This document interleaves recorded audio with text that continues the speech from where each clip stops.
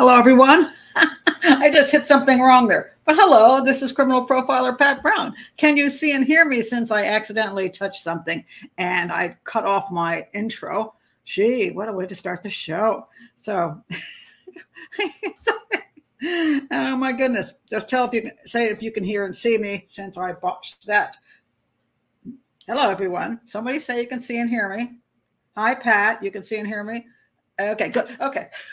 I just hit something and it wiped out my my intro. So anyway, welcome everyone. Uh, if you're new to the channel, that was half of my intro. Um, and uh, if you're new to the channel, please do like and subscribe. Uh, that helps this educational channel keep going.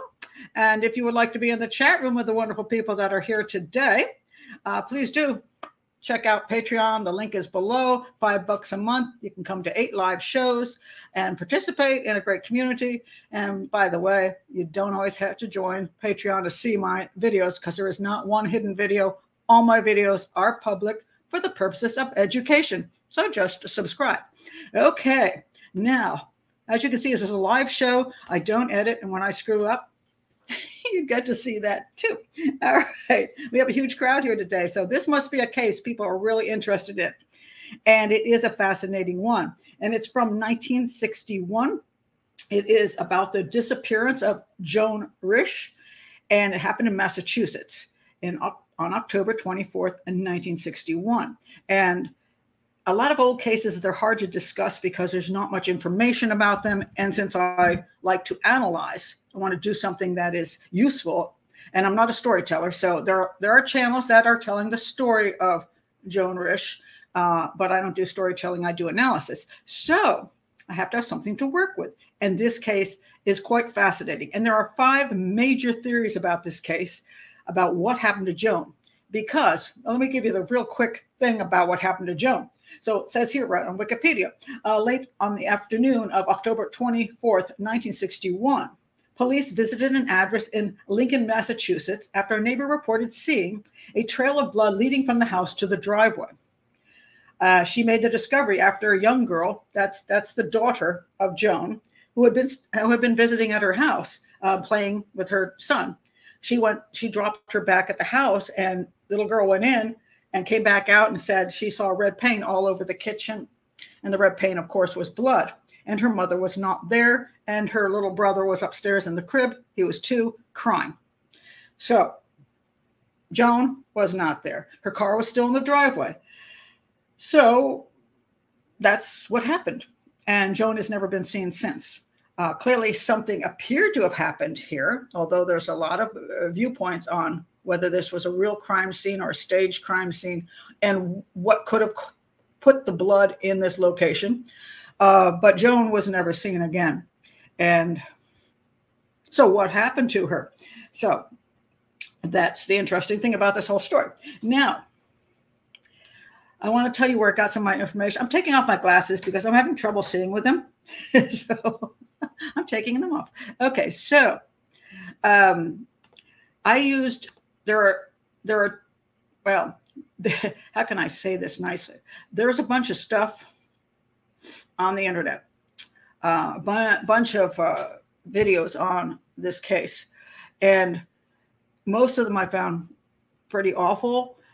And the reason i found them awful is because they tell the story but they get into their own personal uh, analyses of the case when they don't have the background to do so.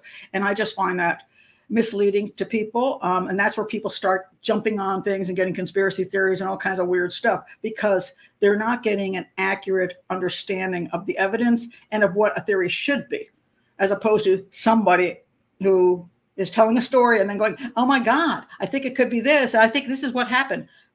So if you're going to watch something on YouTube, this is the best one I found. The Disappearance of Joan Risch. It's by a, a group a person, a woman, I have a woman who does this one. It's called Dark Curiosities. Um, and she's got a lovely voice, in my opinion. And she tells it very straightforward. So if you want to just hear the basic story in 22 minutes, this is the one to, to listen to. If you want to stop this, if you're not here live and you want to stop and just run over there for 22 minutes and come back, that's fine. Uh, I will give you the information on the case, but if you just want a, a solid straight through, this is it. Now, there's only one book on this case, and this is A Kitchen Painted in Blood The Unsolved Disappearance of uh, Joan Risch. And um, let me give you the guy's name who wrote it because it seems to be blocked out here. Um, I think it's a very good book, and I like to promote people when I think they do something that um, is worthwhile, shall we say. Uh, let's see if this is, yeah, there we go. Uh, his name is Stephen Ahern, okay? And he's not a profiler or a detective, uh, but he does a tremendous amount of research in this book, and he brings in a lot of history and geography, which is interesting. I mean, I, I sort of flew through it because I have to look at just the evidence issues, not so much of background stuff, but very well written, and I think you really will enjoy it. Um, he's got a lot of pictures in, in, in the book, and I have to admit I'm using some of them on the show today. So, and I think I may have stolen a couple out of here too. So I want to recommend both of these because they both were useful to my um, understanding of this case. Um, the only thing I'm going to say here, I'm going to present it, is he has a theory himself, um, which I find not very, not very rational, in my opinion. Um, and this is where what happens when you get a person who's got does a tremendous amount of research, but then not as a profiler or a detective comes up with what he thinks is a, a viable theory. And I'm like, not so much, but I'm going to read you his entire theory. And I'm not, and I think I think the book's great, and I think he gave it a good try. But this is, and he didn't say the guy absolutely did it. He says this is the one he thinks. He thinks is the best theory, and I'm probably going to tear it apart. But I just want to say, okay, you know, he has a right to do that. And he didn't say the guy did it. So, but this is why I'm always a little leery about people who go from being good storytellers and researchers to be being profilers. Okay. And and people necessarily believing that they have the ability to do so. So that's why I prefer straight storytelling if that's what you do well. Um, I don't do that. So I want that to be somebody else's thing. All right. So now I do need my glasses back what the heck is going on? I'm like halfway between being able to read and not read today. I'm falling apart. My eyes are anyway. Um, so anyway, all right. I'm just checking in the room to see if there's anybody saying something I want to talk about. Okay, let me let me go to what happened in this case. And before I go, yeah, before I go into the exact details of the case, I do want to tell you her background, okay? Because I think people have brought a lot of her background into the theories that they're that they have about this case, and so I think it's important. I'm going to go to another site, not Wikipedia, uh, and this guy says uh, this is coming from Reddit. Um, it's called "The Bizarre Disappearance of Joan Risch," uh, posted by U Northeastern. And he says more information about the case can be found on a student run series. And I don't know exactly where he got his stuff from or she, but I think it's it's just easy to listen to. So I'm going to use it. All right. The early beginnings of her life were a tragedy. Born in 1930, Joan Risch, uh, born Car- Joan, Joan Carolyn Bard, was originally from Brooklyn, New York, before moving to New Jersey when she was nine years old. One day, when she was out visiting relatives, her parents were killed and it was later described as a suspicious house fire. All right, let me stop with the house fire thing. Um, so her parents were killed. Some people say, "Well, did she did what? Did she set the fire?" No, she wasn't home. she was with some other people. so she wasn't there. They lived in, I think it was three floors. I think it was an apartment.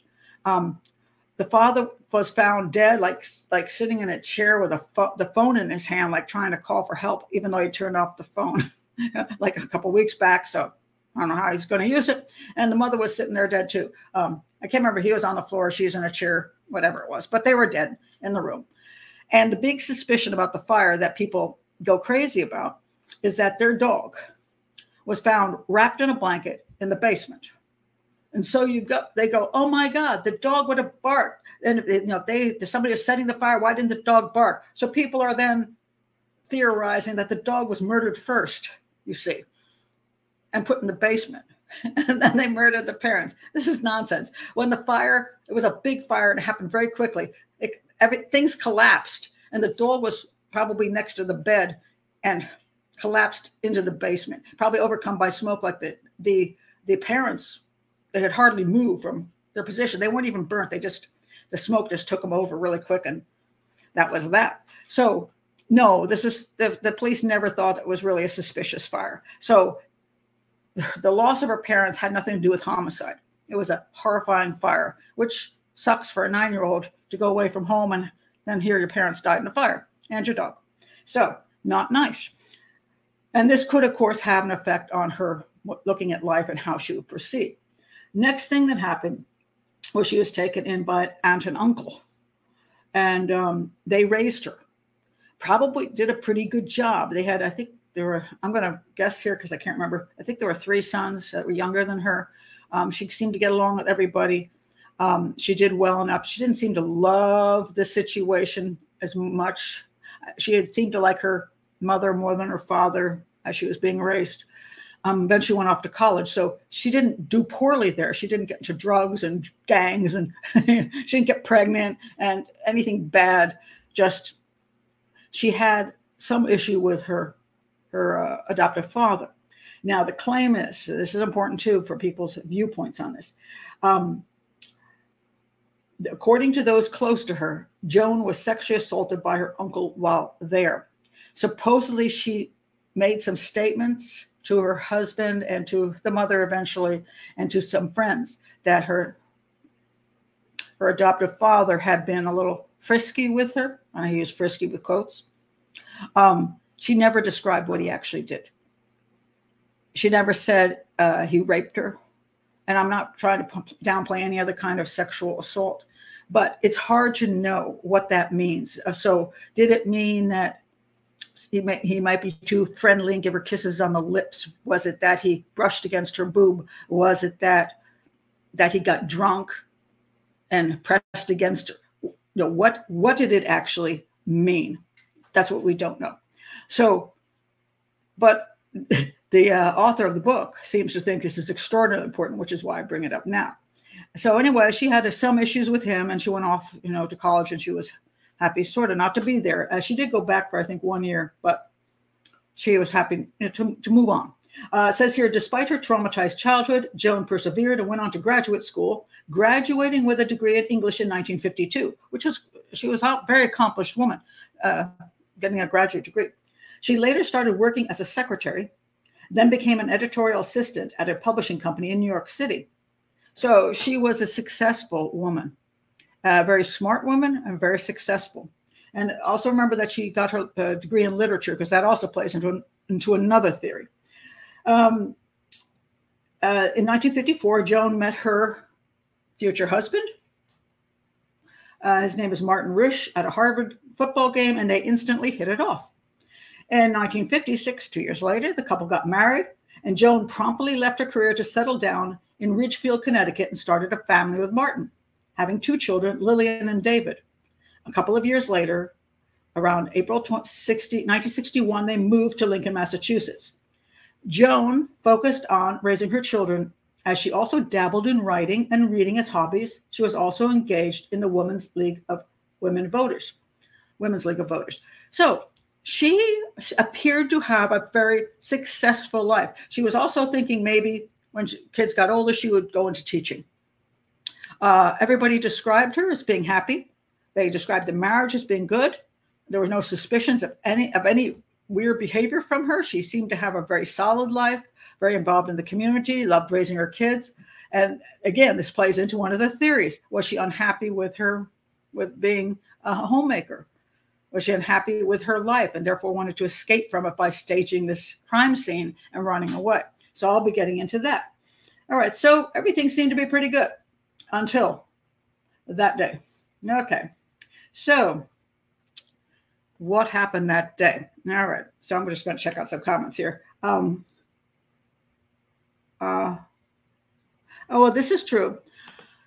No one knows what goes on behind closed doors. Could it have been marriage problems? Well, no one ever absolutely knows. That's true. Uh, however, he was out of town uh, when she was when she was well when she disappeared. Um, he was out of town, and so the only way he would be involved if he hired a hitman, um, which there's no evidence of, by the way. Uh, or the simple fact is, one could say he traveled too much, and therefore she felt alone too often and had too much, you know, just being stuck at the house and not being able to be in the professional life. These things are true, but also you have to be, be aware of overdoing things like that, you know, because people always want to find something really um, suspicious behind everything. That if you were a if you were a professional woman, you couldn't enjoy being home with your kids for a few years. You know, I you know I I would well before my kids were born, I can't say I was a professional woman, but I stayed home with my children for 14 years. I enjoyed it. I enjoyed it, and I homeschooled my kids. And then I got into medical sign language interpreting, and then I got into criminal profiling. It, you know, there are different points in life when you can do different things, and just because you take a few years off to raise children, especially you're talking 1960s, a lot of women stayed home. So you weren't even alone um, because, you know, there were, there were neighbors. She had neighbors, women friends who were home. And that was a great thing. As a homeschooler, I had homeschooling friends who were home. Thank God. And that was in the 1980s. Um, so we could get together with each other, go to the park together. So we weren't lonely. But there are some times, and this this day and age is more like that, where women who were professionals stay home, they've got nobody around them. They all their friends are working and they're miserable unless they join a mother's group. So yes, you can be unhappy in your your homemaking life, but there's no indication that she was. And so we shouldn't jump to a conclusion just because she once as a professional, she hated life so much she wanted to disappear. But I'll get into that with the different theories. Okay. All right. So, all right. Now, um, let's go on here. Um, so now what happened that day? All right. So this is a very unique case in the time frame and the uh, and what happened at the house. All right. So this is the house. I, I show this because one of the interesting things about it, it is set back. Let's see if I can find the uh, this was Ahern um, presented this. Um, she lived at the, oh, uh, this is better here. She lived at two, by the way. Uh, so this is a street, which you see you can come off this street and her house would be the first on the left. Easy exit if you were kidnapping somebody. But she was here and her neighbors where the kids were playing was over here. All right. But there were lots of trees. And I think the tree thing is, is kind of important. So let's look at the house. As you can see, this, this is her car that's parked in front of the house in the driveway. Uh, this is the back of the house, has no exit from the back of the house. And this is, again, the driveway. So you can see a lot of trees around here. I think I have another picture of that. Here, many trees.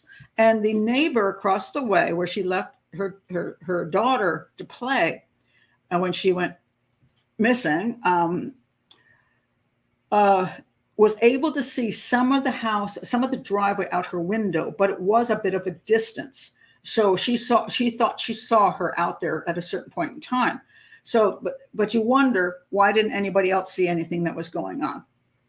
Yeah, so so there there's a couple sightings of a car uh, coming out that that uh, parked in her driveway and coming out that was not her car, and also some sightings of her her walking around town um, in three different areas, and I'll get to that. So but no other neighbors saw too much. And so, because I think the trees were there, and that's important because, first of all, it, it blocks the view and it helps if, it is a predator of any sort, or even if it wasn't a predator, somebody she knew who pulled into the driveway behind her car. Remember, here's her car. Some car was seen behind her car. Um, they might think nobody's actually going to see them because the car the house is off the street and is surrounded by a, a lot of trees. So it's not like uh, everybody in town would be looking right out you know right at your house seeing somebody coming and going and all that stuff. So they might feel a bit of seclusion and um, and that could be a choice okay? So and also i want you to note where what it looks like around there for the issue of whether uh, joan actually staged a crime scene and ran away without her car, or whether she had some kind of incident there which caused her to be to bleed a lot all over the kitchen, which some people think it was a miscarriage, some people think it was a, a bad abortion, and then somehow left the property. And so we'll get into all those theories. But I just want you to have a sort of feeling for the um, the house. All right, and so here's what happened as far as the story goes. Um, uh, her husband her husband uh, uh, got up on that morning he left at 6.50 for a, a, flight to new york city for a two-day business trip and he drove to the airport so they had two cars uh, this was her car he had one so he was out of town. That's proven. Uh, Joan was left alone at the home with four year old Lillian and two year old David, and they did their normal daily activities. Again, very important when you're looking at why anything would happen. You have to look at the daily activities. Is something off or something normal? Joan woke up. Uh, Lillian and David gave them breakfast. She took David to a neighbor, Barbara Baker. That's the one across the street. Uh, so she could take Lillian for a dentist appointment. Now, there's some people who think that the dentist appointment was really an abortion. However, the dentist actually worked on Lillian's teeth and also worked on Joan's teeth. It's not an abortionist, okay? So this is where you just jump into conclusions. Not not happening. All right. So she did go to a dentist appointment. That's a documented fact. All right. So and then after that, she cashed a check and went shopping with Lillian. Again, if you hadn't just had an abortion, you probably aren't running around town shopping. Um, soon after, while the Risches were absent, the milkman and the mailman arrived and delivered stuff to the house. They didn't notice anything unusual. A dry cleaner also came to pick up Martin's suits. He also he also said nothing seemed out of the ordinary. She was there at that. Uh, I think she was there at that time and actually gave the suits to him, and he drove away. At 11 a.m., Joan and Lillian returned home for lunch, and around noon, Joan went to retrieve her son. Oh, I forgot to tell you. Uh, yeah, she had given her son to Barbara across the street uh, to watch while she went to the dentist appointment. And now she retrieved, uh, she went home, uh, had lunch with uh, Lillian. Then she went and got her son from the neighbor's house and put him down for his early afternoon nap. He slept apparently from around 12 to 2. While he napped, Barbara Baker brought her son, D- Douglas, over to play with Lillian in front of the Risch house. So across the street is Barbara. She brings her son over, and the two kids play. Apparently, they share, you know, playtime together. So Barbara would bring over her son, and little uh, Joan, Joan would bring over her her kids, uh, just especially uh, the older girl, the Lillian girl, uh, so that each one of them could get a break. This is what mothers used to do. Um, after working in her garden at 1:55 p.m., Joan brought the two children back to the Barker house at the swing set. That was Lillian, was Barbara's uh, son, and her daughter Lillian. Joan had told them that she would be back shortly. However, she didn't say anything to the Barkers themselves when she returned home alone. Now, may, people make a big deal of this uh, because why didn't she, when she brought the kids back over, why didn't she say to the mother, hey, the kids are here, pay attention? And I don't know. I don't know what their general practices were. Maybe because they were just across the street from each other. As long as somebody brought the kids back and forth, they weren't worried. The kids were playing here, they were playing there. Um, and so why she didn't say anything, I don't know. I would think if she wanted to be, this is important, if she wanted to be absolutely sure that that child did not show up back at her house in a short period of time. In other words, something nefarious is going on over here. I would think you would want the neighbor to keep that kid away as long as possible. To say something like, oh, I have a really important phone call I have to make. Can you keep her here for an hour or two? You wouldn't just drop her off because she might just show back up in 10 minutes. So clearly, Joan was not concerned about the return of her daughter being something interfering with whatever was going on. And some people think she's having an affair. She's some guy pulled into the driveway of this car and they were having sex up there. That's why she didn't want her daughter around. But you know, if you really don't want your daughter around, you better make sure she doesn't return with a neighbor lady, you know? So makes little sense that she was trying to hide anything. She just dropped them off to play because she probably wanted to go back to her house and read a book, take a break. Her kid was sleeping, do some cleaning, whatever she wanted to do. And she just, okay, we'll drop you off here at the play. They had a little play set. They're going to play on the swings, you know? Um, so she did that. And um, so then it says um, about 2:15 p.m. Barbara was in her kitchen and happened to glance out the window. There she saw, saw Joan. Now think of remember 2:15, uh, wearing a trench coat and standing next to a blue sedan. This is what was it October? It's chilly-ish. Okay, and standing next to a blue sedan in the driveway. She appeared to be carrying something red and walking hastily in somewhat of a daze. Now, this whole story is uh, is really questionable. Um, some people think she's walking away from the house, but as far as I can see, she was walking toward the house. So, did she run back out to the car to grab something and then run back toward the house? Is this a big deal? Um, it was also seen through the trees, and so she and she's doing stuff, and she glances out and she sees something. she did she stopped for a second to look, but does this have any great meaning except that she was alive at 215? Also, how do we know it was 215? I'm always amazed at these absolute time frames because I, when I was home with my kids, I had never had a clue what time it was. you know, the kids could say, "Ma, I'm really hungry." I'm like, "Well, it's not even lunch." Oh, yeah, it is lunchtime. Didn't realize it. Time flew. You know, we were busy. I didn't wasn't looking at my watch every three seconds to find out what time it was. So how she knew it was two fifteen and not two o'clock, I don't know. Um, so I really don't know about this sighting, how important it is um, at all, except that maybe she ran out to the car because she had bought stuff. Maybe she ran out to the car. And now there's claims that what she saw was that her little son was up from the nap and was wearing red and running down the driveway, and she was running after the child to stop him from running into the street. Except when he was found, he wasn't wearing red and he was still in the crib. So he was still in his night clothes. So that makes no sense whatsoever. I think we can just chuck that out, even though some people try to make a lot of it. I don't think she was chasing her son down the driveway. I don't think she was chasing anybody down the driveway. I don't think she was being chased down the driveway. I think she just went out to the car and got something and ran back in the house. I just don't see any enough evidence here to say that has great meaning. All right. So after that happened, um, then Barbara didn't think much of it at the time. Well, see, that's the thing. She didn't think much of it. So if it had been really important, you would think she would have gone, What's wrong with her? Um, uh, she just merely assumed Joan was playing around with the kids. Barbara was not aware of the children being back outside her home. Now, I hear two stories about that. One is that the children were actually in the kitchen with her when she looked out the window. So now these are a couple different stories. Uh, and little did Barbara know to be the last verified time anybody saw Risch. An hour later, around 320, Virginia Keene, the na- daughter of the Rich- Risch's next door neighbor, returned from school and recalled seeing an unfamiliar dirty blue or gray sedan. Now, this is important. So the neighbors on the same side of the street, the, the girl came back from school and saw another car parked in the driveway. Okay.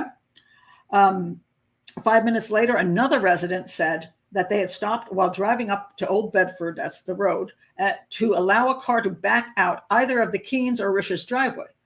But both Virginia and her mother said there was no car in their driveway at that time. So the Keene's daughter saw a car, and somebody five minutes later saw the car pulling out of the driveway. All right, that's important because the car is very interesting and plays into many, many parts of theories. Um, at 340, Barbara took Lillian back to her home. So, you know, there was a street, even if it wasn't heavily traveled at certain times. The kids weren't, I guess, allowed to run across the street by themselves. So the mothers took the children. So now Barbara's taking uh, her daughter, uh, Joan's daughter, Lillian, back to the house. All right.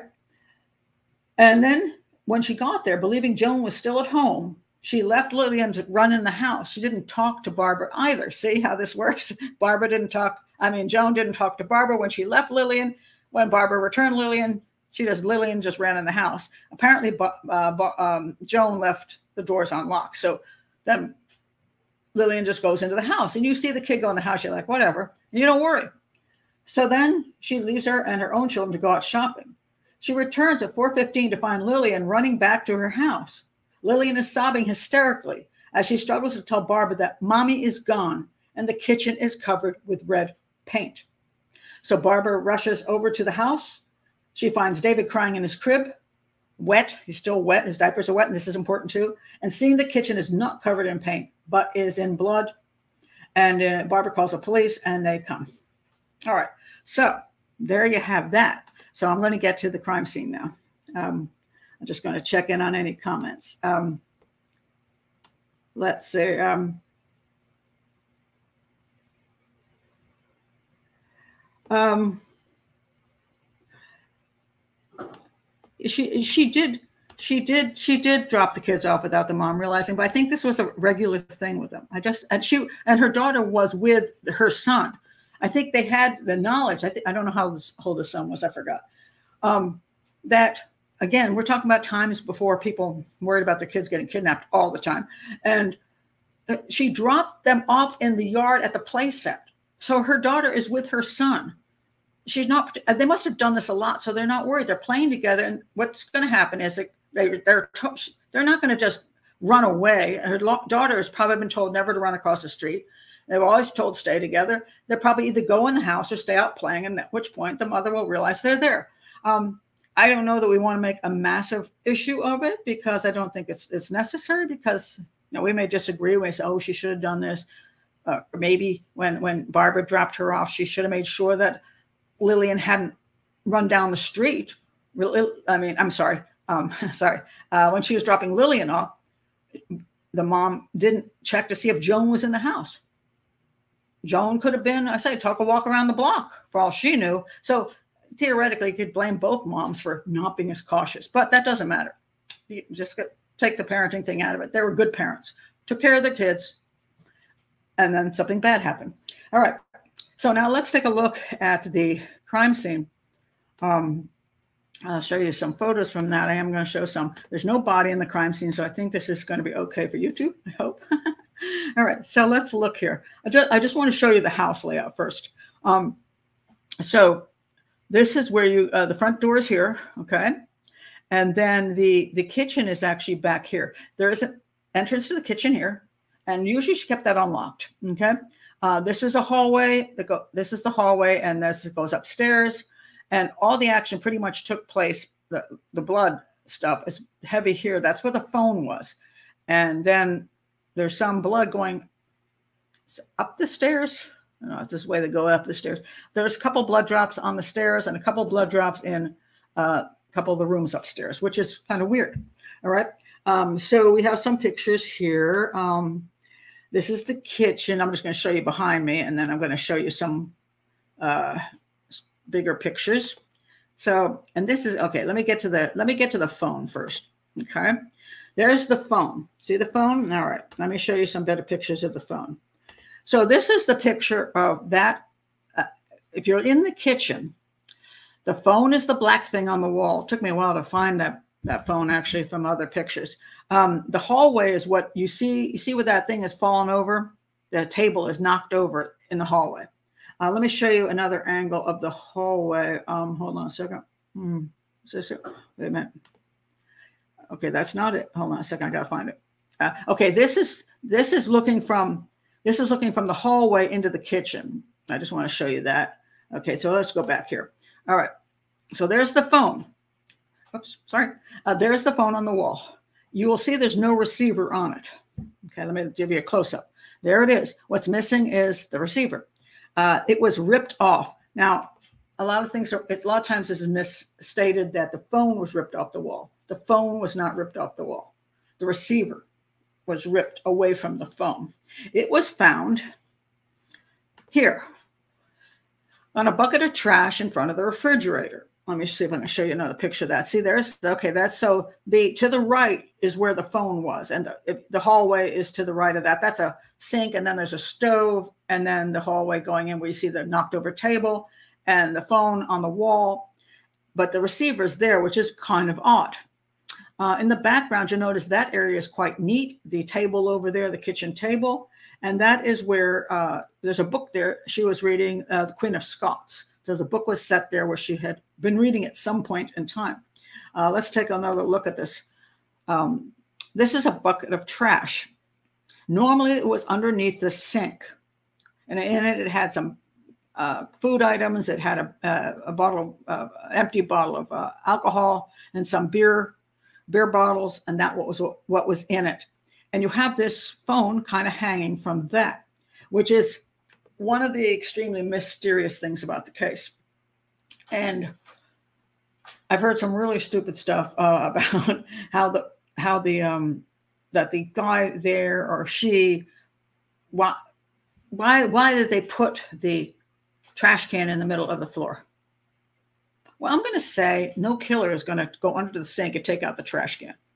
That makes no sense. And even if Joan was Joan was in there trying to stage some crime scene, why would you put a pail of trash in the middle of the room? My guess is that she had moved the pail of trash out from under the sink because she was intending to take it out to the trash can. Sometimes things are just there because of something that occurred prior to person was in the process thereof maybe pulling it out maybe getting you know gets a couple maybe there was something on the counter she wanted to put in a can that was on the counter she was cleaning up but she got interrupted for some reason and therefore did not continue. And that's why the trash can is sitting where the trash can is sitting. But I can't see it's right in front of where the sink is. No, nobody's going to take that out as a staged crime scene or for any other reason. I think she just took it out because she was going to empty it. So I think that a lot is made too much made of that. Now, the person didn't pull the phone off the wall um, herself or somebody attacking her didn't do that. Uh, they just it was the it was the receiver with the with the cord. Um, that could be that could two ways that could happen. I don't know quite how long the, the cord was. Um, I would think if you were making a phone call and you passed out, you might hit the floor and pull that out of the phone. So we have to keep that in mind. Or someone attacked her and pulled the phone out of her hand because they didn't want her making a phone call. Now, another question is why is the phone sitting over here? And that's kind of odd. I don't really have a good answer for that, except that I don't think it was staged. I don't, if you're going to stage a crime, you would throw the phone on the floor. You wouldn't hang it on the trash. My guess is, for whatever reason, the phone was in somebody's hand when they were near that and they just dropped it. And just because it ended up in this position didn't mean it wasn't dropped on top and slid into that position because the top of the phone catches the the edge of the uh, the um that container there, the, the pail. So I think they could have just dropped the phone and just slid that way. So again, let's not overdo what happened, and also to try to determine whether that has anything to do with the the actual events. Um, however, the phone is important. Why was it ripped out? That's very important. So let's keep that in mind. The important thing is not the pail; it's the phone itself being pulled because that's not that's unusual. Let's go with unusual. Okay. So uh, what else we do see here is there was supposedly about half a pint of blood, which the the, the, the they said wasn't enough to kill her. It wasn't like a she wasn't like shot and bleeding all over the place or stabbed. Um, they don't know what what happened to her. Now there's different theories about where the blood came from. Let me just show you some different pictures of uh, there that most is in there's a bunch in the corner here. Um, some you can see that across the floor. And there's um, some in the middle of the floor. Um, i don't have where's my picture of that? Um, there's one more area which there's you can see that there. And some people say it looks like the, somebody tried to clean up the blood. Again does that make sense? Let's let's look at that. Um, why would somebody try to clean up the blood? What would be the purpose of doing that? What would be the purpose of if you're staging a scene to make it look like you got attacked and you're running away? Why would you clean up the blood then? You wouldn't. You you want it to look bloody. Secondly, why would why would a killer waste his time trying to clean up the kitchen? Now, now there's some theories on that again, which are a little bit odd. So, at any rate, that's the basic scene. Um, some there's some children's clothes that have blood on them and how did the blood get on them? Was that used for cleaning up? Was it used to stench, uh, flow of blood? Is that how I say that? Staunch. I always have trouble with it. Stench. What did I say? Stench. Staunch, right? I don't like that word. Okay. I'm gonna. I, I, had this problem in another show. I said there. I said that. I tried to say that same word, block, and for some reason I don't like that word, and I keep screwing it up. So, oh, if, if only this wasn't a live show. All right. Um, Queen of Queen of Scots had a bloody ending as well. Well, and I'm going to get to the book thing uh, as far as the theories. Okay, so I, I'm going to stop there with that part. That's basically the scene. There's some blood drops going up the stairs. There's some on the bottom, some on the top, just a couple. And I'm supposed to do something in the master bedroom and something in the in the baby's room, um, but very little. But yet, what's it doing up there? Why isn't it just all in the kitchen? There's some blood coming out of her house, um, just a little bit coming out of the drive and going to her car. There's um, a couple, there are three sets of blood smears on her car. Um, let's see. Uh, let's see. I'll read this to you now. The blood spatters, well, this is everywhere, is not exactly true. There were some on the stairs, some in the master bedroom, but very little. And in the children's room and in the driveway leading to Joan's car but very little. We're not talking about ton, you know, blood pouring up the stairs. Or, anybody, you know, bleeding out on the stairs. We're talking about a drop here and a drop there, and very tiny, or, or a little touch of something. Um, I don't have pictures of that, so I can't prove it. More blood was found on the right rear fender, the left side of the hood, and the center of the trunk. So that's kind of weird. It's like her car's facing in. So you got um, on the left side of the hood. So you got a little bit here. You got right rear fender here and something on the trunk, the boot of the car here. Why? Dum, dum, dum. That is also weird. Okay. There was a bloody handprint and fingerprints on the walls. Uh, the police examined a left thumbprint next to the telephone mount and processed over 50,000 sets of fingerprints. There were some fingerprints not belonging to people in the family or any known person. They did have stranger prints and they can't figure out who they are. Estimated Joan lost half a pint of blood, not enough to be life threatening. Uh, almost all of the blood had dried except for a few spots on the floor. Uh, investigators found it odd that all the blood on the floor, there was all, a lot of blood on the floor, but no bloody footprints. It appeared that someone had tried to clean up the blood with paper towels and rags. There were no paper towels. There was art paper. There was a roll of art paper people are mistaking for paper towels and rags, including Joan's son's overalls. We don't know that they're trying to clean up anything. So we'll get to that. The police determined that the amount of blood found probably came from a superficial wound. Risch may not have been stabbed or shot, although hemorrhaging or a blow could not be ruled out, despite being all signs of a struggle. Now, some people say there were no signs of a struggle. And I'm like, I'm going to say the signs of a struggle or a fake struggle, if you want to go with that. She staged this whole thing to run away. But however, there was no weapon located on the site. And that's, yeah. So somebody didn't bring a weapon and drop it. Neither did they use a weapon from the, like a knife from the drawer or something, and attack her. So there was no weapon found. Uh, let's see. They search. Okay, so now going on here to let you know, they did bring in police dogs. The police dogs only went out to Joan's car and across the street to Barbara's house and back. That's it. The dogs never went down the, the road, anyplace. And this is important when you talk about sightings of Joan and how she left the house. Those dogs did not find anything except went to her car, that right location of her car, and also down the driveway, across the street, and back, which is where she was that day. So the dogs seem to know what they're doing. All right. That basically is it. Now, let me add one more thing, and then we'll go into the th- theories. All right. About 2:45, somebody reported a woman who looked like Joan walking on Route 2A about 200 years away from her home. Are we talking 200 yards? somebody typed that wrong, wrongly. About 200 yards away from her home in Lincoln. She was, quote, shuffling along and hunched over as though she were cold, wearing a long, loose fitting gray coat that came to her knees and a handkerchief strangely tied under her chin. These two things are important.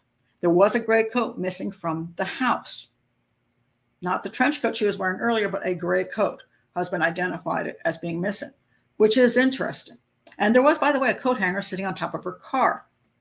That's another very fascinating point of this case. Like, why the heck is there a coat hanger on her car? Right? And no coat on it, but where's the coat out of the closet? It's missing. And it's a gray coat.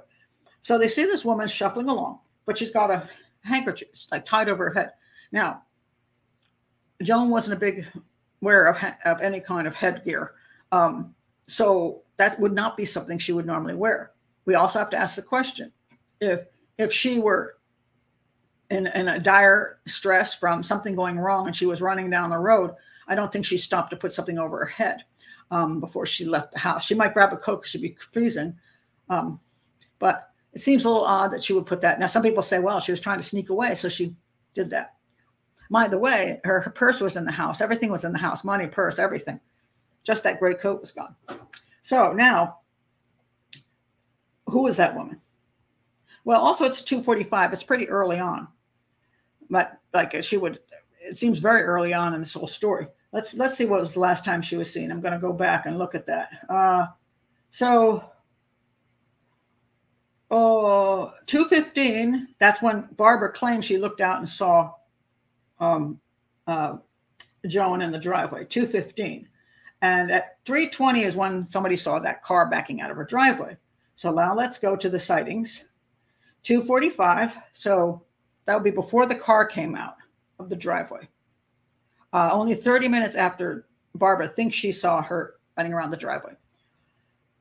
So how could this be the same woman? Unless she immediately staggered out of the house and somehow walked the 200 yards, and that was her. And the car has nothing to do with it. So the car would have no no meaning then, right? But the dog didn't go down the road. If she walked away from her house, you know, put on her coat, put on a thing, and walked away, the, and never took her car, the dogs would have gone down and found something on Route, Route 2A. But the dogs didn't go there. So I don't believe that one. Uh, 315, a woman of Joan's likeness was seen looking disoriented walking along 128 in Waltham. She appeared to be cradling something against her abdomen, and it seemed there was blood running down both legs. Now, I wonder about this now, the blood running down both legs.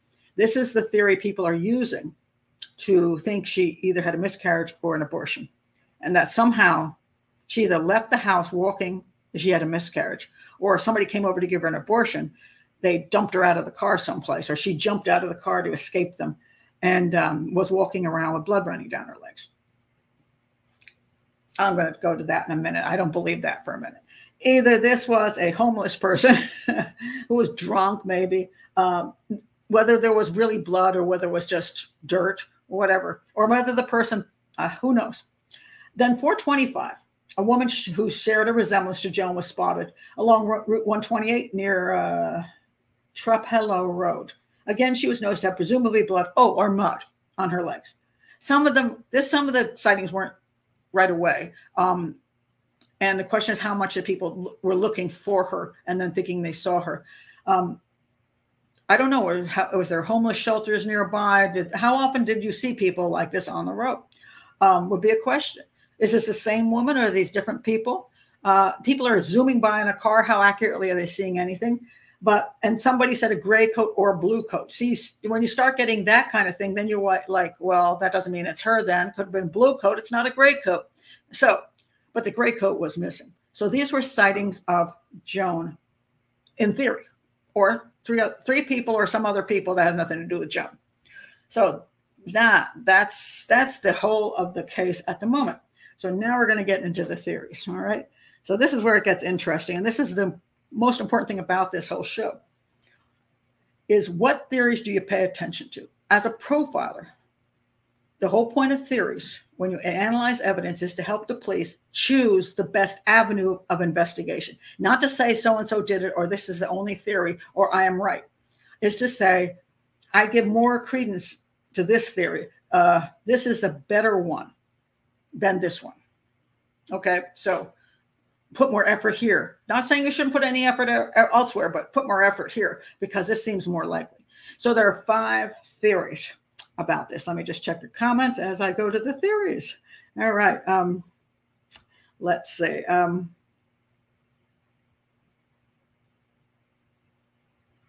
let's see. um, hold on a second. see what I can't read with these glasses anymore. I tell you. Okay. Uh, Leslie says if she was delirious and bleeding, she could have cleaned sort of on autopilot. Okay. You you know it's funny because you know I think a lot of people have had heavy periods. They've had miscarriages.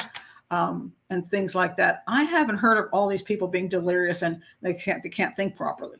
And this is where I start thinking that, first of all, let's go to the miscarriage theory first, based on that. All right. So the concept is she's home and she's in the house and she miscarries. No, she was never been proven to be pregnant, by the by the way. Okay. Not proven to be pregnant, not known to be pregnant, never gone to a doctor for pregnancy. So she had a miscarriages very early on. Okay. Um, I know lots of people have miscarriages at home. Some people just think, oh, I'm having a heavy period. They don't even realize they're having a miscarriage. So, anyway, let's say you're home and you just, you're hanging out and you start bleeding. You go, oh my God, what is this? I'm bleeding. Oh my God, I'm getting cramping in my stomach. Where do you go?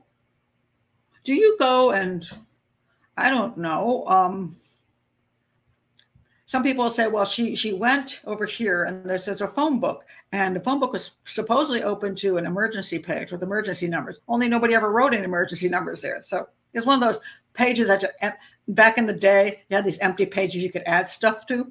You didn't have a 911, so you might add in, you know, police or whatever you put in your book. That was your emergency number. I suppose it was open to that page, but she'd been there six months and never written anything in it. So I'm, this whole thing about the emergency number she was trying to get. Why? She never wrote anything there anyway. So why would she think there was anything? So theoretically, she starts to bleed and has some cramping. So she goes to the phone, starts bleeding all over the floor, tries to make a phone call, falls and onto the floor, rips the thing out. And then she staggers around the floor, putting blood everywhere. Hang puts the phone in the trash can. And then, because she can't make a phone call, she decides to, she goes out the door, down the driveway. Now, mind you, she just left her kids across the street at Barbara's house. You're looking for help? Wouldn't you go to Barbara's house? okay. in other words, you're losing blood, so you lose your mind so much that instead of going straight to Barbara's house, you decide to wander down onto some other highway and crawl along someplace. But you go get your coat on the way because it's cold. Is this really what you would do if you were miscarrying? The whole thing is nonsense. It makes no sense whatsoever. And the dogs never went down the road. So she didn't walk down the road. So that that's just to me illogical. So the miscarriage thing just just just seems stupid to me. All right, let's push that away.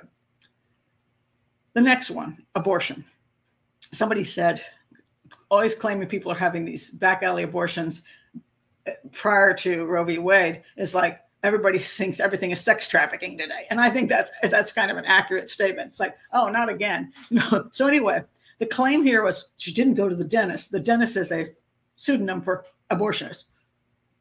So, but there is proof she went to the dentist. So she didn't have time. And so now the idea is okay, so she didn't get it done at the dentist slash abortionist. Um, she got home and then see how she does. She puts the baby down to sleep and then takes the child over and dumps the child over at Barbara's house but doesn't tell Barbara, like, again, hey, can you keep her here for a while? I got I got some business I need to take care of. She didn't have to tell Barbara what the business is. She can just say, I got some stuff I got to take care of. I don't want to be disturbed for like an hour. Somebody's coming over, going to discuss taxes. She can make up anything. I don't think Barbara would have cared. She would have said, okay, fine. She said, I'll come back over and pick her up when I'm done. If you're going to have a, a, a, an abortion in your house, I think you would make sure that nobody's coming in. You don't just drop your kid off and have Barbara roll into the kitchen going, Hey, Joan. Oh, look. um, so, and disturb things. Now, so that's the first thing. It makes no sense. Secondly, where is she having this abortion at, by the way? Now, mind you, she's a, a middle class woman with money. Um, I think she probably could find a way to get an abortion if she needed to. That might be a little less squirrely than having somebody show up at your house with a knitting needle or or a or a uh, coat hanger, and the coat hanger sitting on the car was not used for an abortion. So somebody had comes in. Okay, so where where is this going to where's, where's this going to happen at? And some people say, okay, well, she drank the beer bottles that were in there, you know, for, before she got this abortion, so she wouldn't be in so much pain. Did she have it on her bed in the bedroom? Is that why there are a few drops of blood in there? And um, then she started bleeding more, so she ran down the stairs and started bleeding out and tried to make a phone call for, for emergency help. And the abortionist says, Oh my God, you're going to rat me out. And so you rip the, or she ripped the phone away. And and then she bleeds some more all over the place and, and grabs some pieces of clothing to stuff up her bottom to try to st- stop the bleeding. I can't use that word.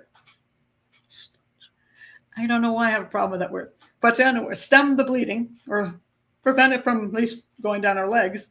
Um, and then, and then after that happens, the abortionist then says, "Okay, I'll take you to the hospital and drop you off." Now, there's a little bit of sense here. Instead of calling 911 and having the abortionist discovered at the house, I'll, I'll give credit to this. Makes more sense. if it, some, if that really happened at the house, the abortionist may not have wanted anybody to show up there because then it would mean an abortion occurred there and they would be on them. If she dropped her off at the hospital and said, "Shut up, don't say anything, just say you started miscarrying," that makes a little more sense to me. Okay, so she gets her coat, her good gray coat, so she can bleed all over that. You know. Anyway, uh, and then they go out, and um, she could have just taken the coat from the closet, or she could have said, "Get that gray coat," and the abortionist follows her out to the out of the house, and she the abortionist takes the coat off, drops the hanger on top of her car, and helps her into the coat. And they get in the abortionist's car. And then on the way there, the abortionist bails her out in the middle of the highway and doesn't take her to the hospital. And she wanders around and dies in the woods and gets eaten by a wolf. Or the abortionist decides she shouldn't even go to the hospital. So then the abortionist takes her away and kills her and buries her. okay. okay. I'll tell you why I don't go with this story. First of all, there's no evidence she was pregnant. Secondly, I think she would have a better way of doing an abortion, especially not in the middle of the day when everybody's racing around. Um, she did, and not making sure her daughter stayed away. Uh, it, there's so many ways she could have done it. She could have just dropped both kids off at Barbara's house across the street and said, "Look, I'm going to be gone for three hours. I need to go do this, this, and that," and just go to an abortionist and come back home. I mean, doesn't make any sense that she, in the middle of a normal day, she would try to sneak an abortionist and get it done real quick and then continue on taking care of. No, that does makes no sense. All right, second thing. Let's say she's up in the bedroom, lying on a, I don't know, on a, on a, on a shower curtain and getting aborted. Okay, and she starts having cramping and she's starting to bleed.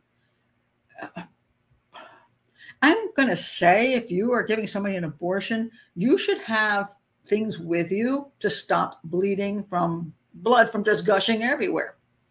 And so you would have something there. You would have, oh, I don't know, uh, sanitary napkins, even diaper sized things, you know. Even she should have sanitary napkins and maybe diapers for the baby still around. Uh, he's two years old, maybe he's potty trained, but she's got to have something.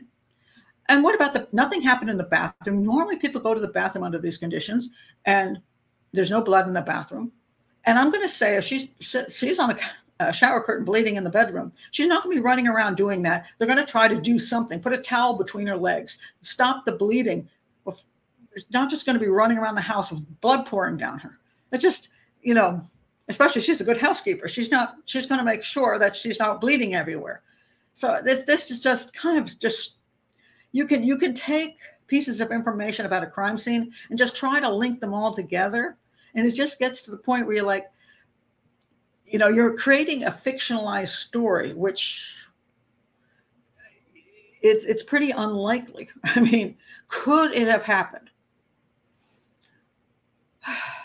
Could it have happened? Well, I don't know why we see as much um, like the the, the uh, I don't know why the table would be knocked over in the hallway, um, why this abortionist would suddenly just turn into a violent predator, essentially, and uh, and force her not to, you know, I mean, just it, the whole thing just sounds like a silly story.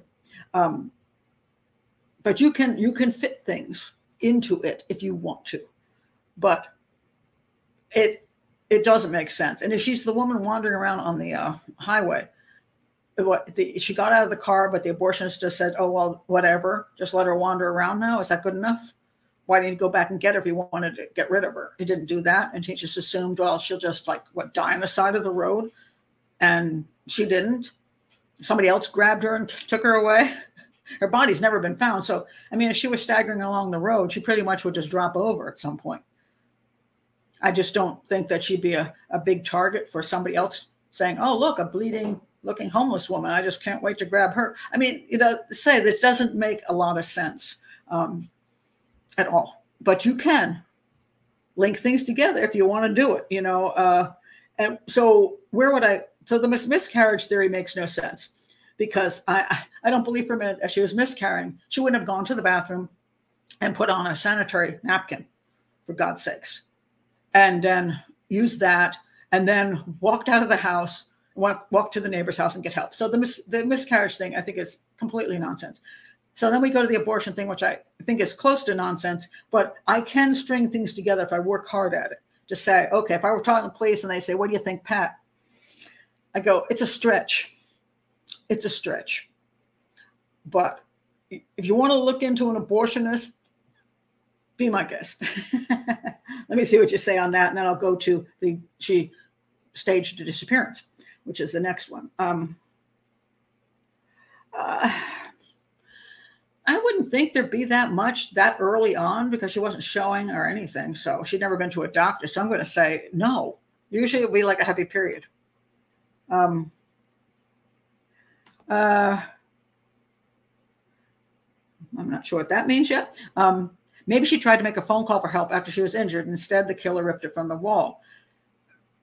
Well, that is possible. But the question is, when was she injured? And was she injured through the through an abortion? I'll get to the next theory of uh, whether she's being attacked. That's a whole another another deal. Um, just dial the operator. Um, yeah, I think I'm trying to remember. I well, okay, 60s. I was born in 55. So I do know my phone number, GF54370, drilled into my head by mommy. Um, but yes, I would think you could call the operator and that would be it. You wouldn't need to. What's the point of looking up emergency numbers when you haven't written them? So yeah. Um, uh, Stephanie says she go to the neighbor she couldn't call. I don't see any reason for her to walk off other than to seek help. Yes, I mean, and she did not go anyplace else but the driveway or her neighbors. So, in my opinion, what is obvious is that car means something because she didn't get in her own car, she didn't go to the neighbors, and the dog never went down the street in any at either direction. So, if she didn't show up at Barbara's, which she didn't, she got in a car and it wasn't hers. So I believe the car story 100%. That car was in her driveway. Somebody put it in the car. Could it have been an abortionist? I guess. But I mean, I'm having a hard time with that story. Um, let's see what else you have to say about the abortion story before I go on to the she went missing story. Um, yes, they saw a car driving away. That's as I said, they did see some car back out. Uh, a car, a car was seen in her driveway, and a car was seen backing out of her driveway within five minutes of each other. Uh, it was a blue gray Oldsmobile, I think, something like that. Um, they've never found the car, although there was. If you read his book, Ahern's book, which I think is good, um, he talks about how they did have some people thought they saw a few numbers on it. Uh, and so they looked for that car and found supposedly maybe a stolen car, but that's very, very vague. Um, uh, there was also a car seen there five days earlier. And one of the suspects is a guy who was in the neighbor five days earlier, but not necessarily with that vehicle. So, um, but yes, a car was seen. So I 100% believe a car was used. She did not walk away absolutely did not walk away. Okay, so let's see. Let's see where we're at. Okay, so I'm just checking some more comments and then I'm going to go to. Uh, okay, let's go to this then, Loretta. Could she have done her own version of Dad walks out for cigarettes and never came back to start a new life, child free? All right. Well, first of all, she couldn't have walked away because she had to get in the car. she had to have a person helping her so the whole thing about she's uh, staggering down the highway without any of her stuff, uh, looking disheveled. First of all, she just walked out of her house. I don't know why she has to look disheveled. But anyway, she's in her gray coat. She walks down the highway, but the dog did not go there. And if you if you're trying to sneak away, this is kind of a stupid way to sneak away by walking down the highway. All right. Um, so she got in a car. That means somebody had to drive her away. Now, some people said she had a lover. There's no evidence at all that she's ever had a lover. Nobody, there's no inkling of that. Um, okay, she could have a friend who was in, you know, cohorts, you know, working with her on this. Okay, so would you stage a scene like this just to run away? Do you do you really now, mind you, she's she supposedly adores her children. Nobody's ever said anything about she had any issues with her kids. Um, very good mom to them. She was, do you actually think she would want to leave, have her kids think her mother was murdered in this room or, or, or, or, or whatever happened to her mother in this room and for the rest of their lives suffer from that? Would she want that? Could she just do a, a, a more like a vanishing thing? I mean, you know, she could have driven her car and just jumped out someplace and vanished. She didn't have to leave a bloody crime scene. What, what did she do? uh, how did she get the blood there? Did she cut herself so she, and then just smear it places?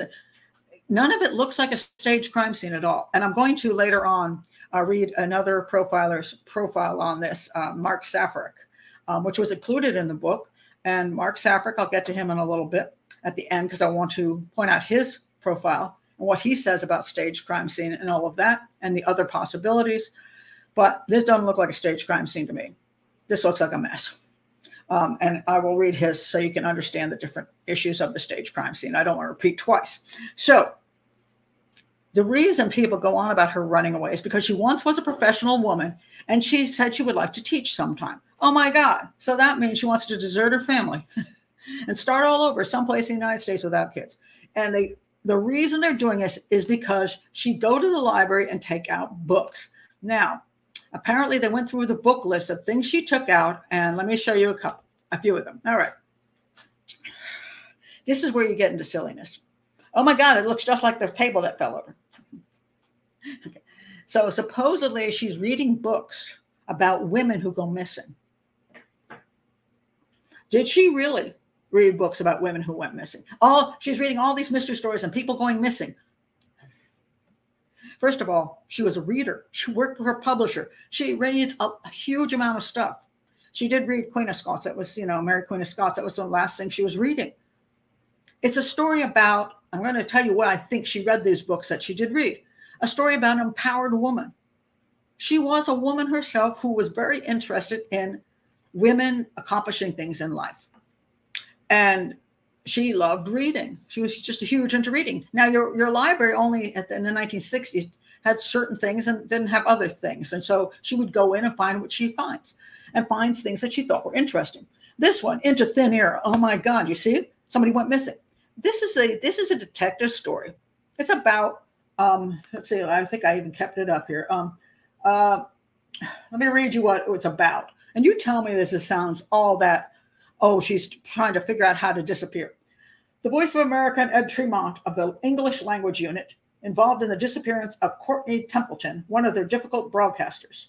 Templeton is responsible for a missing directive. Tremont finds a dead man and is fired. The FBI moves in as Tremont's fiancee moves out, and Tremont finds solace in Templeton's daughter. Abduction, the Russians, and a photo finish chase, blah, blah, blah. It was an abduction. So, so this is a mystery story. How many mystery stories have you read that include a missing child or abduction? God help you if your child goes missing and on your your nightstand is a story about Madeleine McCann. You're screwed.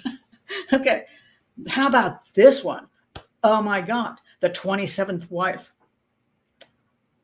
What was that one about? I think this is the one that was about um, a Mormon lady who divorces. Let's see, I'm going to pull that one up just so you can hear what it really is because uh, say everybody's going nuts about every one of these books is about her planning to run away uh, and, to, and, to, disappear. Uh, the 20, 27th wife, whoops, I can't spell, 27th wife.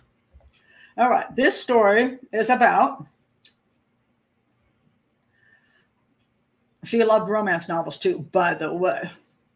Um, okay the big passionate novel of a woman daring to live and love freely, no matter what the price. She was forced to choose between one man's love and her own pride as a woman. Brigham married one woman too many when he took Anna and Eliza, Eliza Webb as his 27th wife. This is about the Mormons. Um, he was the leader of the polygamous Mormon faith, as powerful in the U.S. to Utah territory as the President of the United States. She was a great beauty with a quiet manner and an iron will. For, for four years, Eliza lived in Brigham Young's harem as his 27th wife. Then one summer morning, she walked out, deserting her husband and suing him for divorce. she didn't go missing. She sued him for divorce. Has nothing to do with staging a disappearance. Then we get here incense to the idols. Okay, let's see what this one's about. Incense to the to idols. Okay, idols. All right, this one is about. Okay, hold on. Okay, from the flap. Okay. Miss Ashton Warner's new novel expresses with a magical and sometimes frightening intensity every woman's dream of herself as a femme fatale. Ooh. Uh, the protagonist, a beautiful and brilliant French woman, has fled to New Zealand after the death of her husband. She fled to New Zealand after the death of her husband. Oh my God, she went missing. I'm not going to go further with that. So you see what I'm saying? This is this is this is where nonsense comes in. Um, so there's not one thing, not any of her reading material that was proof of any kind of she wanted to disappear. There's nothing. And how would she would choose this way to disappear as a woman who likes everything neat and orderly? Oh, I guess she took the gray coat. That's it. And she's going to tear up her house and put blood everywhere, cut herself, put blood everywhere, and then run around on highways. This is this is this is just plain silly. That one's sillier than the abortion one. I'd go with the abortion one first. So uh, miscarriage, no way. Uh, running away, no way. Abortion, if you want to try to string things together, uh, I could leave that one on the table, although I don't buy it. okay. Um, so, um, so sorry, Lila. I think you were on the uh, she ran away thing. um, yep, sounds like those books were a few amongst many. She had she took she took a book out every week. She was a reader, and she loved history. She was big into history, and she was an English major for God's sakes. So, yeah, no, one husband is enough. Could be true there too. Um, uh, let's see. um, uh, could it be she went out briefly in the cold, putting on jacket, and be caught off guard?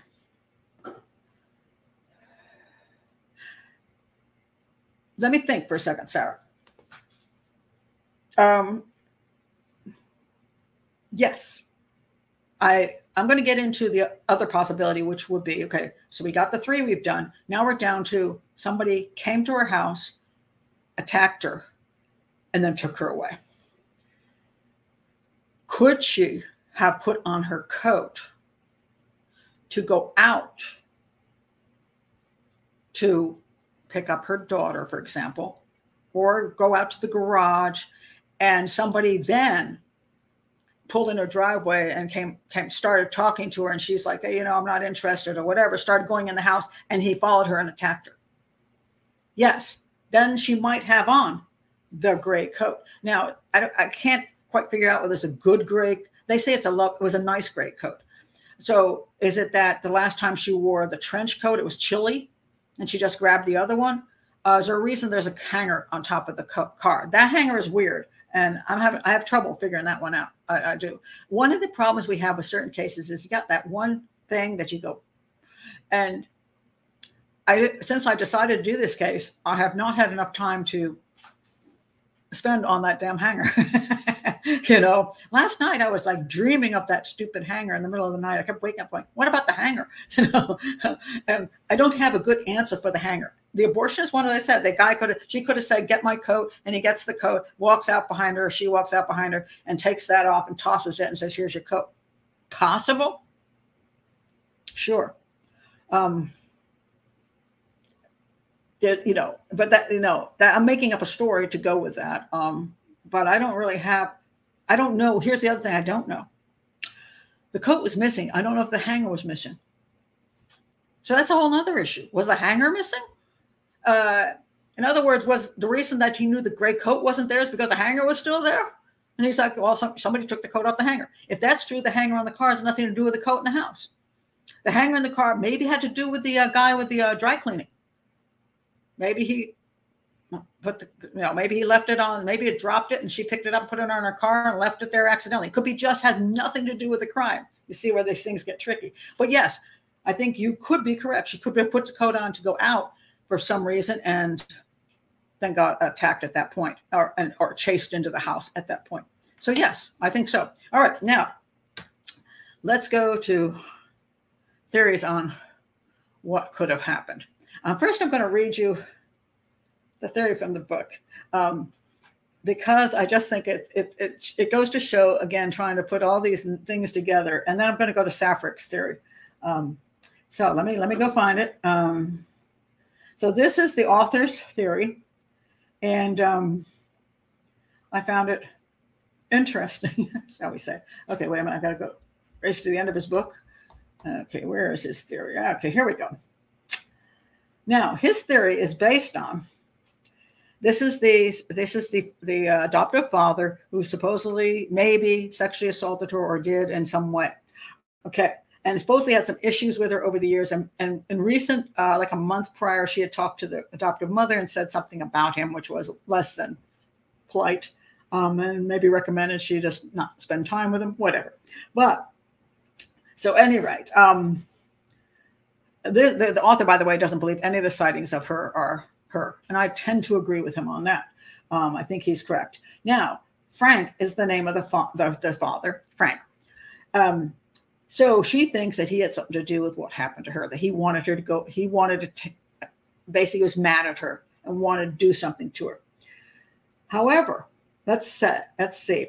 Um, Frank, that was her adoptive father, was 60 years old at the time. And his son was only 28. That was one of the kids that she grew up with, one of her brothers. In 1961, an age more associated with violent crime. Okay, so now this is interesting. Why is he trying to bring Ben the adoptive brother, or the, well, it's her step, I don't know what you want to call him. She was adopted into the family and he became her brother. And they seem to get along. Um, the father's 60 and he's 28. So now the author is trying to say that, why is he trying to say that the son is of the age which associated with violent crime? I'll tell you why. Because he says in the next sentence, Frank had a solid alibi for October 21st, 1961. so he wants to make the father, the adoptive father, the one who did something to Joan, but he's got a solid alibi, totally solid. So now he's got to bring in somebody else to help out daddy, which is Ben, because he doesn't have a solid alibi. All right. Um, but there's several facts, he says, that point away from Ben. His fingerprints did not match the prints at the Risch crime scene. Okay. And the detective also thought the loss of his stepsister truly grieved Ben. Aha. But now, the author desperately wants to make the father, the adoptive father, the reason for this crime and not a stranger crime, right? He says, knowing that Joan and Martin's schedule and habits, which they might, Ben and his accomplice, ah, that's where the fingerprints came from. Now, the father is, uh, the father has gotten his son to do his dirty work, and Ben is instead of just doing it by himself, brings along some buddy of his that just doesn't mind doing bad things too. um, they they could have. This is where you start the coulds. Could this and could that? Could you could be making up a story?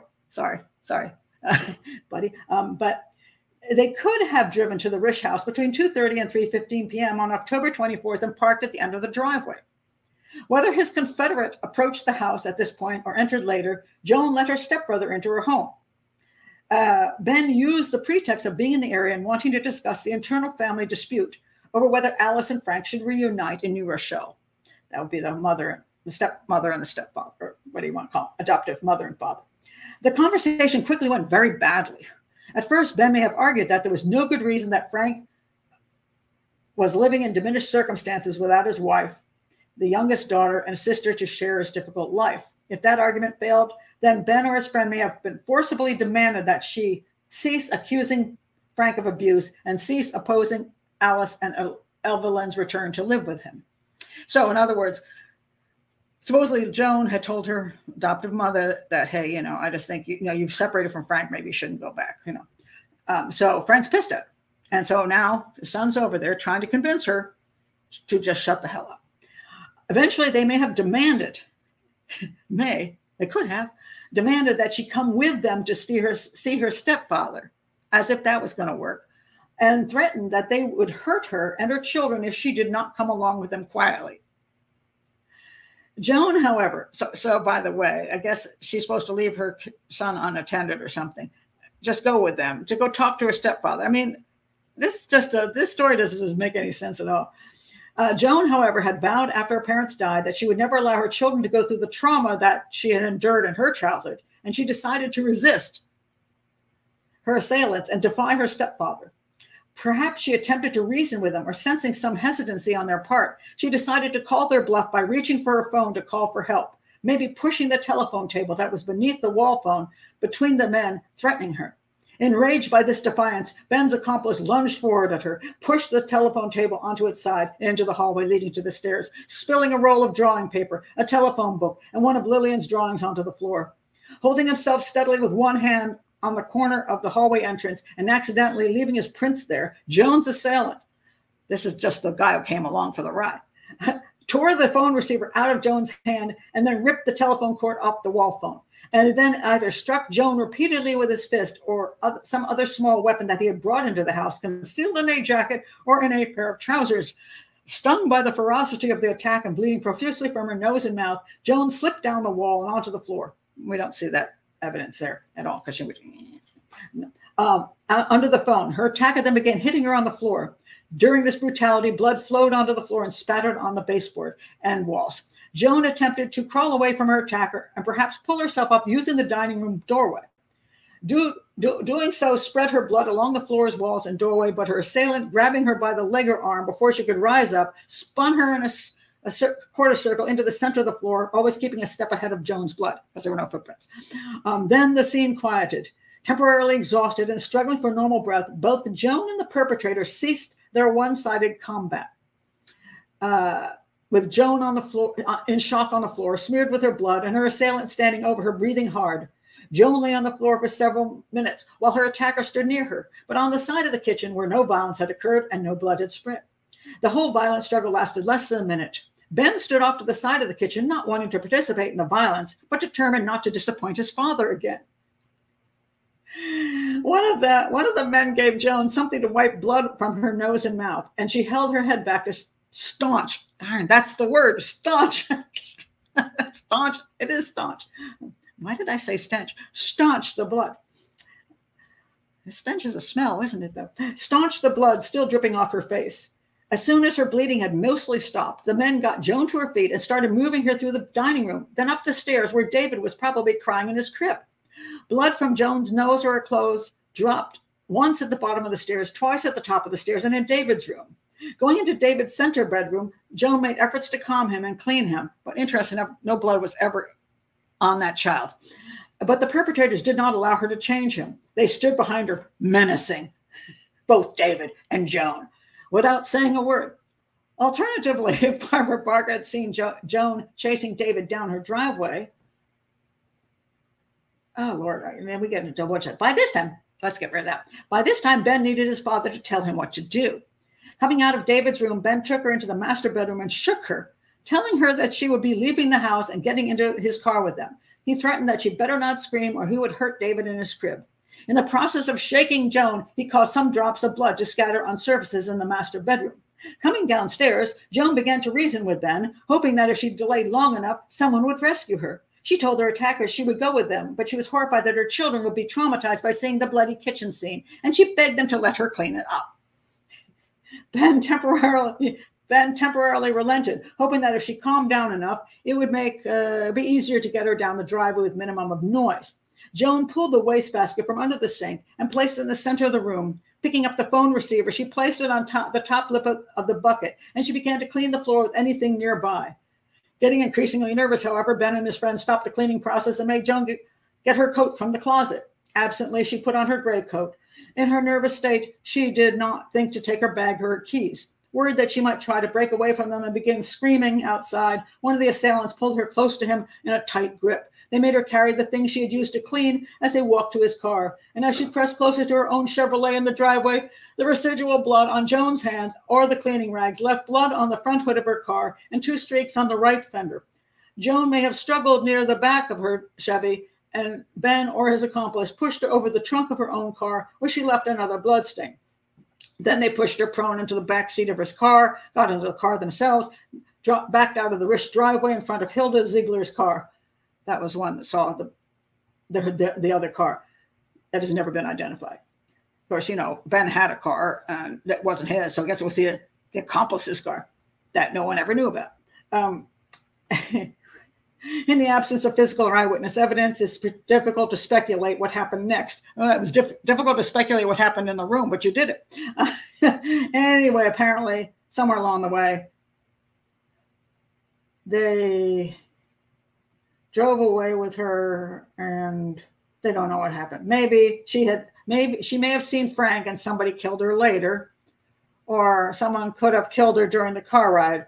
Perhaps she tried to escape. Alternatively, her injuries may have been more severe than were would be inferred from only a half a pint of blood in the kitchen. She may have died in the car, and the two men disposed of her in a remote area of any of four states. oh my goodness. What happened? okay. Um, that was probably one of the worst profiles I've ever read. Now, again, the book is great. Stephen Ahern, love your book. I recommend people re- write, read it. But you're doing what YouTubers do that aren't profilers or detectives. You get this whole thing going well, and then you come up with this absolutely, completely foolish uh, um, um, what do you want to even call it? Dram- dramatization of the scene, taking each little thing you can think of and trying to find a way to fit it into your determination that her that her adoptive father had something to do with it. That is not the way things work. And the fact that the adoptive father was had an alibi, now you're trying to say Ben doesn't, but Ben's fingerprints aren't there, so he has to have a, a friend come with him. You're just making up stuff. And the whole scene in there is ludicrous. So no, I don't think that makes any sense. I don't think the stepfather had anything to do with it. So what do you all think of that, guys? Uh, what do you think of that story? Oh my goodness. Um, that's a good. Uh, oh, why not have a? We have a Barbara Love angle in there. I don't know. Maybe she could have something going on with the brother. You know, cockamamie story. I'll go with that, Nicole. Yeah. This was a profile shaking the woman. well, it's it's a it's a non-profiler profile. It's what I hear see on YouTube all the time. And that and then what the problem isn't so much that he proposed this as a a, a theory. It's that people buy into it. They go, "Oh, that's a good theory," and I see this on YouTube all the time. And then, you know, now Stephen Ahern only made had one book on this case, but if somebody had a YouTube channel, they would have fifty 50 things on how the the the adoptive father was involved. And they just go on for 50 different videos and they have people hanging on every word because they don't understand how things work. So yeah it's sensational. That is surely that um, it, it's and it's irrational irrational yep like you're making up stuff pat luckily not me yes it's also um, very irrational and where was the uh, fantastical thinking Yep, illogical. This is this is what I see. Um, I need a glass of wine after that speed reading session. I had to read it fast. It's just too ludicrous. Okay, let me go to a profiler's view of this. All right, and the profiler I'm going to refer to in his profile, as I'm actually giving somebody else another profiler's profile. How about that? I rarely do that, but okay. Here he is. Um, this is um, uh, this is uh, Mark Safarik. He runs uh, forensic behavioral services. He is a retired FBI guy. Uh, he's been on TV a lot. Um, he's been around. Um, it's interesting. Um, here it says here, here from Mark Safarik, a, a, former member of the FBI's behavioral science unit. This was back in 2012. He was speaking at the Law and Justice Conference at George Washington University. Um, and if, oddly enough, when I looked that up, I also was at that conference, criminal profiler Pat Brown, to address students uh, attending Lead America's Law and Justice Conference. So we were both there. I don't remember. I don't remember if I knew he was there um, uh, or not. Now, most of you know I'm not fond of FBI profiling methodology. I find it too uh, too uh, statistically based and too uh, guess too much guesswork, not based on evidence. A lot of times, um, some of their profiles, I they just say, "Oh, the, I think he's a a white guy who lives with his mother and has a green car and a dog," and I'm like, "Where did you get that from a crime scene?" If you can't prove it from the crime scene, you shouldn't say it. Uh, I find a lot of the FBI profiles over the years have done just that, and it really bothers me. And I don't think it's an accurate method of profiling. I think profiling should be deductive profiling, which is based on evidence, and you you look at the evidence and you support everything you say with evidence. Now, evidence does not always prove out your theory based on evidence is not always correct in the long run. But at least if you're going to say something, you should say the reason I'm saying this is because the evidence tells me this. The reason I say she went away in a car is not because I think it's a nice idea. it's because the dogs did not go any place but her driveway and across the street. So I do not know how she would have left the property if she wasn't in a vehicle. To me, the evidence supports that she left in a vehicle. Now, is it possible a horse came by and she jumped on it and rode away? I guess. you know, is it possible for whatever reasons the dog completely lost her scent and didn't realize what was going on? He's a terrible dog? Maybe. But based on the fact there was a car seen in her driveway and backing out about the time that she disappeared, I'm going to go with the evidence supports a car was used in her leaving the house. Okay, so so I'm going to stick with that because I think that that but I want I want evidence to support things. Okay. Like people think this, oh, she she she ran away because blah blah. The evidence doesn't support that. There's no books that support that. There's no there's no friends that support that she was unhappy. There was no there was just no proof. There was not one shred of evidence that said she ran away. Not nothing. So I won't go there because it's just it doesn't exist. All right, let's see if I can find Mark Safarik's uh, statement now.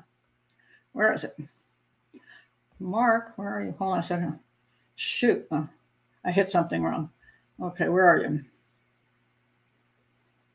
Okay, I have, I have these things highlighted. Of course, I can't find the right highlight now. Okay, oh, here we go. All right. So he says, I contacted a former FBI profiler, Mark Safarik, to help me sort through this maze of possibilities. Now, I want to say this I don't always agree with other profilers' profiles. Um, and just because I don't always agree with their profiles doesn't mean I think they're a bad profiler for everything. Um, every profiler might disagree with another profile at a point in time. I also don't have to like a profiler personally to, to think his profile is good. So either way, you know, uh, I look at each individual profile that is put out by a profiler. It doesn't matter what my opinions of the profiler and his previous work are. I just want to know, is this a good profile? And I personally don't, I, I can't remember if I ever met Mark Safarik, so I have no opinion of him. So just saying. I don't know if he has an opinion of me. Couldn't find it on the internet. Sometimes I can. Profile some profiles have spoken out very negatively about me. I didn't find something he said anything about me, so that's good. Not that he likes me, but you know. but anyway, I'm reading his profile. So the pro, he says the crime scene did not appear staged. Why? Excellent work he did here. In Mark Safarik's opinion, a person staging a crime scene needs to carry out his or her activity to a logical conclusion, understand the sequential and temporal aspects of the crime flow, and avoid those are all difficult to understand and avoid excessive and unnecessary behavior designed to convince law enforcement that the actions staged are legitimate. So in other words, this is this is what he's really trying to say. In his view, several aspects of the crime scene seem out of place if she were trying to stage a clean, uh, clean crime scene. Let me let me throw the crime scene up behind me. Um, okay, let me just throw up. Uh, let's see. No, not that one. Where is it? Okay, let's put this one up here. Okay, so hmm, maybe I like the other one better. All right, let's do let's do this one. All right. Um, for example, there's no reason to put the trash can in the middle of the floor. If you're trying to prove a violent abduction, if that's what she's trying to stage is a violent abduction, why would she put the trash can in the middle of the floor? Remember, I said I think the trash can was just something she took out earlier to take away. You, that's not you don't stage a crime scene by saying, "Gee, I think a killer in the midst of attacking me is going to take this out and put it in the floor." that makes sense. So that that was one thing. Ripping the phone off the wall would make sense staging a crime scene. And but leaving it haphazardly on the floor would cause the police to immediately surmise that a violent crime had been committed. But instead, the trash bucket and the dangling phone receiver would cause the police to be confused, which everybody is confused. We are wondering, aren't we now? Why is that? Why is that? Um, there's my picture of the. Uh, yeah. Why is there a phone hanging from the bucket? we don't know. I mean, that is one of those things in the crime scene that make you go, what happened? And if she just wants to show she got attacked, yeah, rip the phone thing out, chuck that sucker on the floor. That would be the simple way of doing it. So he's noticing that that doesn't make sense if she were trying to stage the crime scene. Um, that would make them consider alternative theories to a violent attack. And it uh, goes on. The blood spatter noted both on the stairs, top and bottom, as well as in the children's room and master bedroom, are difficult to explain in an actual crime. Where I mean, I have trouble trying to figure out how that works, right? Unless you go with uh, Ahern's version of how how this crime went down, I I can't explain it exactly. I have some ideas, but it's still tough. Um, so she's not going to think, oh, I should, let's see, I, I cut my hand. I'm going to drop a couple drops here. I'm going to drop drops in every room. That's going to prove I was violently attacked. No, it's not. That makes no sense. Um, in a staged event, they're created by the stager, but to what purpose? I would not expect to see them in a staged scene. In addition, blood spatter cast off patterns appeared on some walls. Such patterns are normally seen when a bloody hand or a weapon is moving to strike. How would Mrs. Risch known to have made such a pattern back in 1961? Blood spatter stuff wasn't as a big deal back then. Um, she wasn't a detective. She was. She did read a lot of books, but yeah. Uh, the location of the overturned table in the hallway between the kitchen and the stairs also raised questions in Mark Safarik's mind. Again, in staging, the idea is to create what would seem reasonable in a struggle. What I would have expected is to see the disruption of the table from its normal position to a disturbed position within the kitchen, not in the hallway. So again, that she would just knock it over where it stands. Um, Risch would would have wanted law enforcement to find a weapon. I don't agree with that. That I don't agree with. So Safarik and I disagree on that. She would want law enforcement to find a weapon. Not necessarily. I mean, a lot. I think almost everybody knows a killer often brings a weapon and takes a weapon away. So I don't think she's going to have to. Well, she could pick up a. Uh, I guess she could take a fire fire a poker from a fireplace and put some of her blood on and drop it on the ground. She could get a knife out of the drawer and go like that and drop it. She could have staged it that way. That's true. Then there would be a weapon at the scene, proving something really bad happened. But so uh, would she have done that? I don't know whether she would have thought of that. So I, I, I'm, I'm on the fence on that. Yeah, maybe he's right, but I also don't know that the, as, as, long as she thinks there's blood in the place and she knocks stuff over, that would be enough. Uh, and then she's being then she's being taken away, so she's not being killed there. So I sort of disagree with him on that. Um, no money or valuables were removed from the house, either making a botched burglary unlikely, and that is often done in a stage thing where you you either make it look like a sex crime or you make it look like a, a burglary gone wrong, and that's not. There's no evidence of that at the house, so there's no there's the staging just doesn't work. So in Mark Safarik's opinion, a voluntary disappearance was the least likely explanation for her disappearance. Uh, we go on a little bit more. So I also agree that's the least likely that she staged anything. In Mark Safarik's opinion, most of the explanations of an accident or medical emergency did not focus sufficiently on uh, the, the Risch kitchen, but instead, most of these explanations have been worked backward, the wrong approach, from the pur- purported sightings of Risch on various roadways walking in three different directions at three different distances. With that information treated as fact, many people have tried then to explain why and how she would have gotten there. So, as far as violence by a stranger goes, profiler Mark Safarik offered the following analysis to his report on the Joan Risch case. This brings us to what I feel is the most likely explanation for why Joan Risch disappeared that day. Joan Risch was attacked in her home, and after that attack, was removed by the offender in a vehicle. She may have been alive at that time and was killed at a subsequent time and location with her body being disposed of. All right. So Mark Safarik believes it is a stranger abduction or a near stranger abduction. Essentially, when I say near stranger, there there there are a couple there are a couple interesting suspects. One was a guy who was coming around. Uh, his name was uh, Foster, and he had been there a week before, talking to the women about the something to do with the park system and giving up houses for the park system. He'd been there a week before, and some of the women didn't like his demeanor. They, he overstayed his welcome, and they found him creepy. A person like him who had been there in the neighborhood before and saw how the women were functioning, made and all, she, he also did see Joan the week before. Um, I think it was Richard. Was it Richard Foster? Um, I think that was uh, his name. Um, and he, they, they supposedly had a, um, an, an, alibi, but the alibi was kind of strange. His boss said, "Oh yeah, uh, that way back then, at that point in time, we had lunch together at this exact hour," as if his boss would know that. It seemed a little shaky, like maybe the boss was just trying to have his back. Um, apparently, I think they said they maybe didn't take his fingerprints. I don't know why, but he was in the neighborhood previously, had been at Joan's house a week before, and was kind of creepy. Did he know how she be- handled? She was home and how she handled the kids, and then knew that area. So he drove in that day and said, "I'll go back and talk to her again, and uh, maybe something will happen." And then maybe something did happen. I don't know. So it could be a total stranger, a stalker type, or it could be a semi stalker type, and not a tire stranger, but somebody that she had been uh, familiar with at least, and had a way to then come back into her house and talk to her again. Um, or as uh, Sarah points out, maybe she came out. He was out in the driveway, and she put her coat on to come outside, and and he he he freaked her out, and she ran back to the house, and he took off after her. Now you would wonder, well, what about him worrying about somebody seeing her?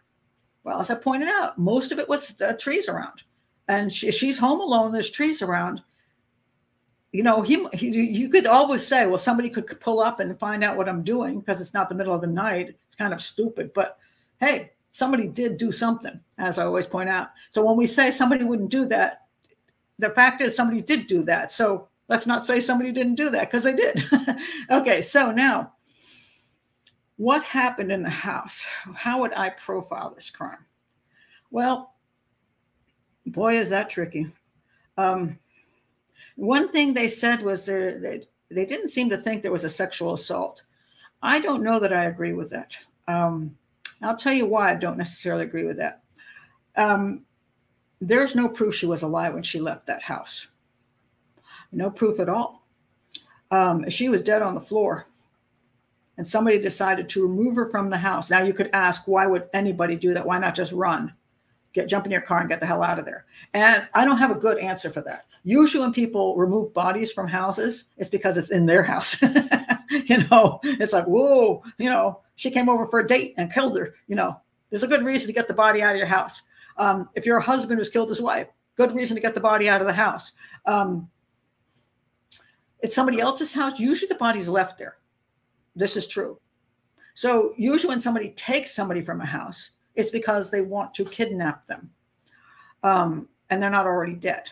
So in reality, it seems more likely that the guy went in there to do something. But the question is what? And I don't go. I don't go with the silly story of uh, Aherns. I just I can't buy that one. Uh, so the, the only usual reason a guy goes into a woman's house and attacks her is because it's a sexual thing. It's a he's going to be a, a, rapist of some sort, um, and I don't believe she went and looked up any phone number. So I think that that whole thing is just that that the the the the um, the table was knocked over in a struggle. Uh, the phone is interesting. Um, the question would be if you're in the middle of being attacked I know there are some people who say, well, the women, uh, they'll go run for the phone. Now, it depends when they go running for the phone. Sarah, you had a point there. If she were in the driveway and was trying to escape the guy going into the house, and I don't know, didn't have a chance, maybe she was thinking she, was going to run to the phone and start calling, call the operator and say, send help. Um, or threatening the guy, I'm going to call the I'm going to call police because police are close by. They lived, I think the police were five minutes away. Then she might have decided to pull that, try that phone thing, but not because she wasn't looking up phone numbers. She would might try that because she might thought there was a some type of distance in time um, that she would have that time to do it. it. It's not usually doesn't usually work, and in that case, then probably he came in bursting right in after her and ripped that phone right out of her hand. Um, yes, um, and then what happened?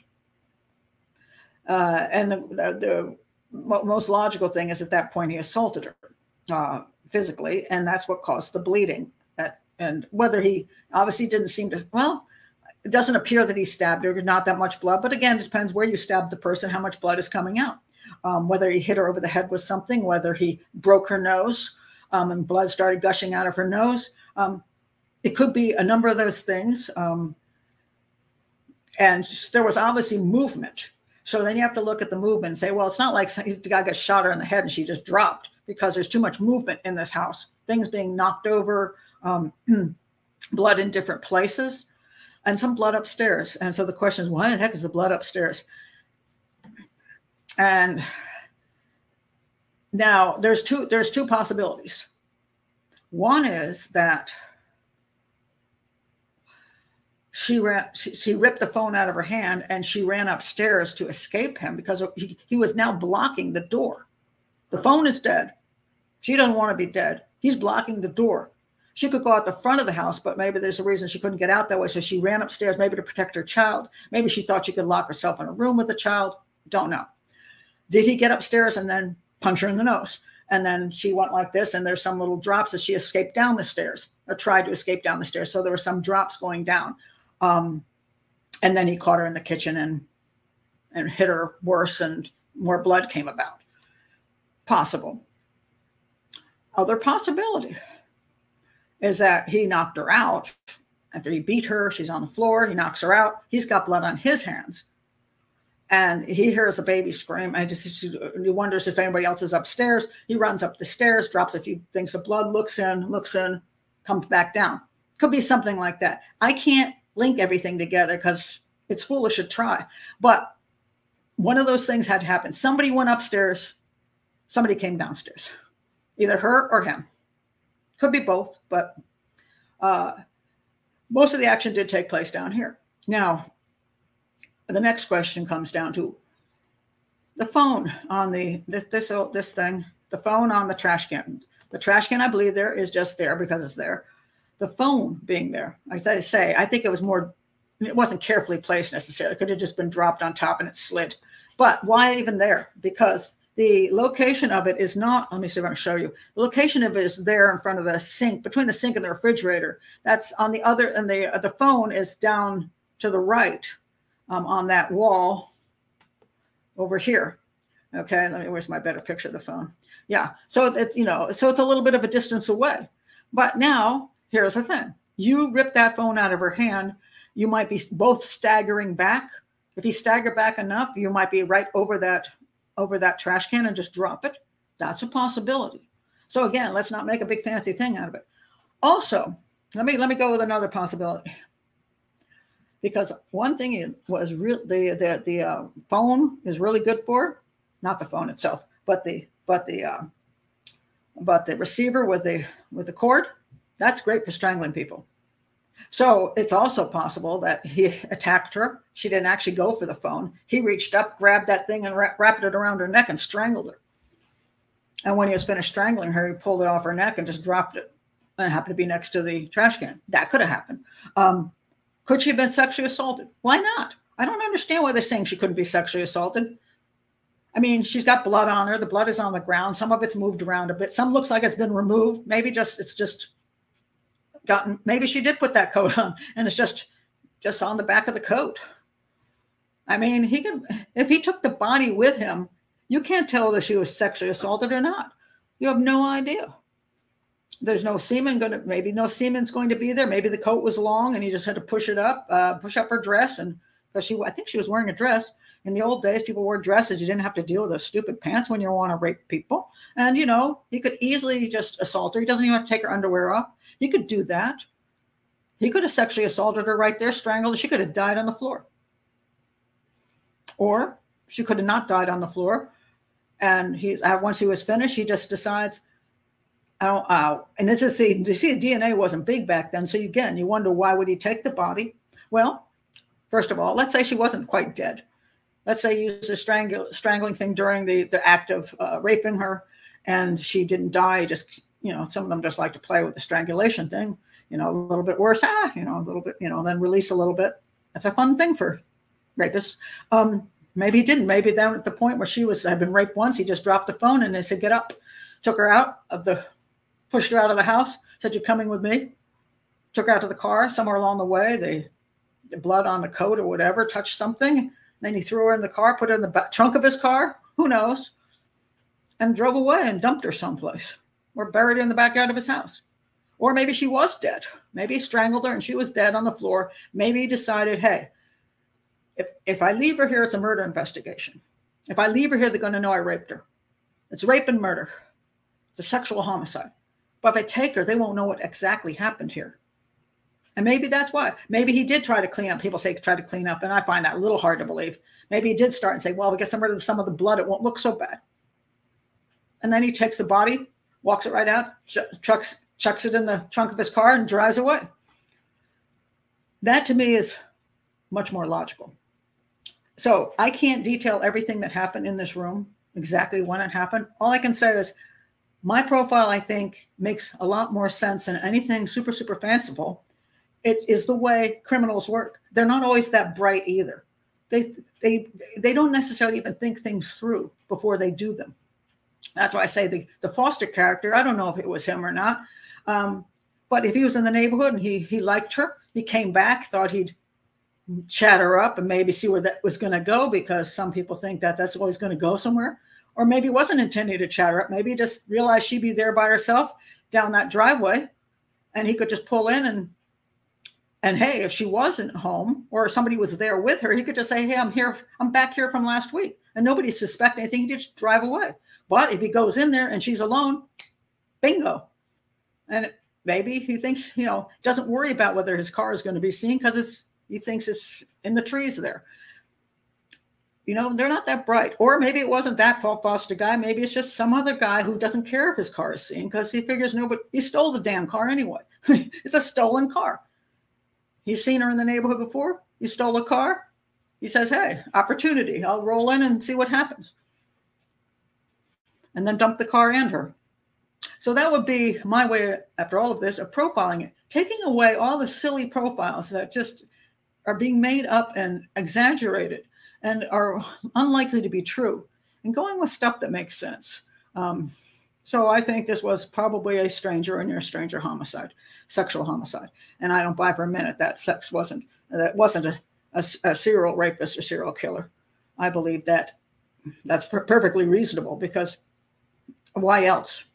You know, why else? Okay, I'm going to go to your comments now. All right, where's my little soda? All right, let's see. Um, okay, well, there's a good point. The mail had never. Thank you, Sarah. You're you're you're on the you're on the mark today. Again, we can't prove this happened, but it's a possibility. The mail was still in the mailbox. Um, she had passed by it. Maybe she got to the house. She was cold the last time she was out in that damn, you know, raincoaty thing, and it was just colder out. And she's like, she just grabbed the other coat to go to the mailbox to keep warmer. Maybe true because, and she never quite got there. Some guy pulled in the driveway and it all didn't go well after that. Can't prove that, but that makes more logical sense than a whole lot of other stuff. Um, let's see. She was not pregnant. We do not know she was not pregnant, but we have no proof that she was pregnant. There was zero proof that she was pregnant. And and it was also there's no proof that she wouldn't want to just go ahead and have the kid. I mean, the concept of this would be that she went behind her husband's back to get rid of a baby that was his because she had no proof she had a lover. She went behind her husband's back to have to have a uh, an illegal abortion in her own house instead of having the kid because what it would delay her her uh, return to professional life for two more years. Well, big deal. I mean, this happens to women all the time. We don't we don't necessarily do things that are that are dangerous and illegal because of that. Now, she she had a stable home, so it's a big difference if you're you know a teenager or somebody uh, uh, bad circumstances. She wasn't. She, they had money. They had a lot of money, nice home. She could have done the third kid. You know, uh, I think my mother only intended to have two kids. And then I came along. Thank you, mom. you know, and she wasn't, my mother was never a mommy sort. Um, she she wasn't. She admitted it. Um, she was in the ice capades, and then she she later in her life she became a watercolor artist. She was a good mom. She she sewed clothes. She took care of us, cooked food every night. She hated cooking. She did that anyway. She wasn't a cuddly, warm type of mom that just just delighted in having three children in her life. But she was good to all of us. She she she she you know she took us to our music lessons and all this kind of stuff. She just wasn't. I think if it had been another time, she would have maybe chosen not to get married. I just I just think she was probably more of a free spirit that got, you know, in the 1950s stuck where she was. Uh, but she was she she didn't. Also, I'm not saying she hated her life either. She accepted her life and she found things that made her happy within her life. And my father was good to her. And um, when she became an artist, he he um, they still went skating all the way through our you know our my growing up. And and my father built all these um, you know. Uh, uh for so all the stands so she could go do art shows. He built all those for her. He drove her places for doing. She was good for good husband to her, uh, and we were good kids. most of the time. And uh, she was a good mom. So I just think just because she would have gotten pregnant with me when she's like, dang it, I wish I only had two. I just can't see my mother, who was also in good circumstances, choosing to have a, a dangerous abortion behind my father's back. I mean, you know, just because somebody can do that doesn't mean they have any reason to do that or would choose that. Um, just because, gee, maybe I'd rather work two years earlier, you know. That's just a little excessive. Um, let's see. Um, what else you have to say here? Uh, uh, no, not that I know of, TR. Um, no, I mean, you know, of course, this is years later. Um, there are a lot of salacious headlines, you know, uh, thrown out there. If you watch the little video that uh, I linked, um, uh, that, I will link um, below, uh, I'll put the I'll put the link to the book and the link to the one video that didn't appall me on YouTube, and uh, you'll see a lot of the, of the um, articles and all the, the the horrible things they said. You know, so they were the media wasn't too nice back then either. But I don't know. They did a. Some people say they didn't do much of an investigation, but it looks like they did. Seem I think they investigated fairly heavily, and this came up with. They couldn't figure it out. They just couldn't come up with they couldn't find, I don't know the car maybe they found, but they're not sure. Um, the, the sightings of the woman were questionable. She was, her body was never found. She was never found. Uh, there, the blood in the kitchen was O blood, which was her blood. But hey, you know, even if the guy cut himself, his chances of being O blood are good too. They never found a match to the fingerprints. So, and the uh, palm print. What are they going to do? So, you know, especially if it's a stranger homicide. And this is where people don't understand how difficult stranger homicides are. You know, it's really nice if you can find out that the husband hired a hit person. You know, that works. Um, or if uh, she's been stalked by a guy from work and it turns out to be him. That's nice. Or she just broke up with her boyfriend and her boyfriend killed her. You know, these are things, at least you have a suspect. But when you don't have a suspect, you're looking at an entire area of all kinds of possibilities. So many people out there that could have committed the crime maybe 50 is most likely male, so at least 50% of the population. Um, I think Pat needs a stiff drink for the comments. Mm, soda. I haven't seen all the comments. Are they horrible?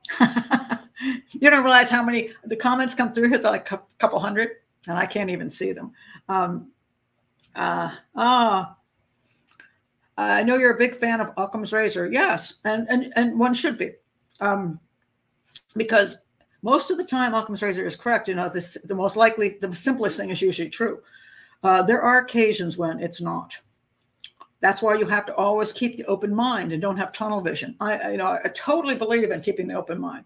So if I were working the case, I would be, I would be I would be looking for my profile if I were working the case. I'd be looking for a serial rapist, serial killer, um, stalker, obsessed stalker, uh, somebody, a stranger, near stranger type person.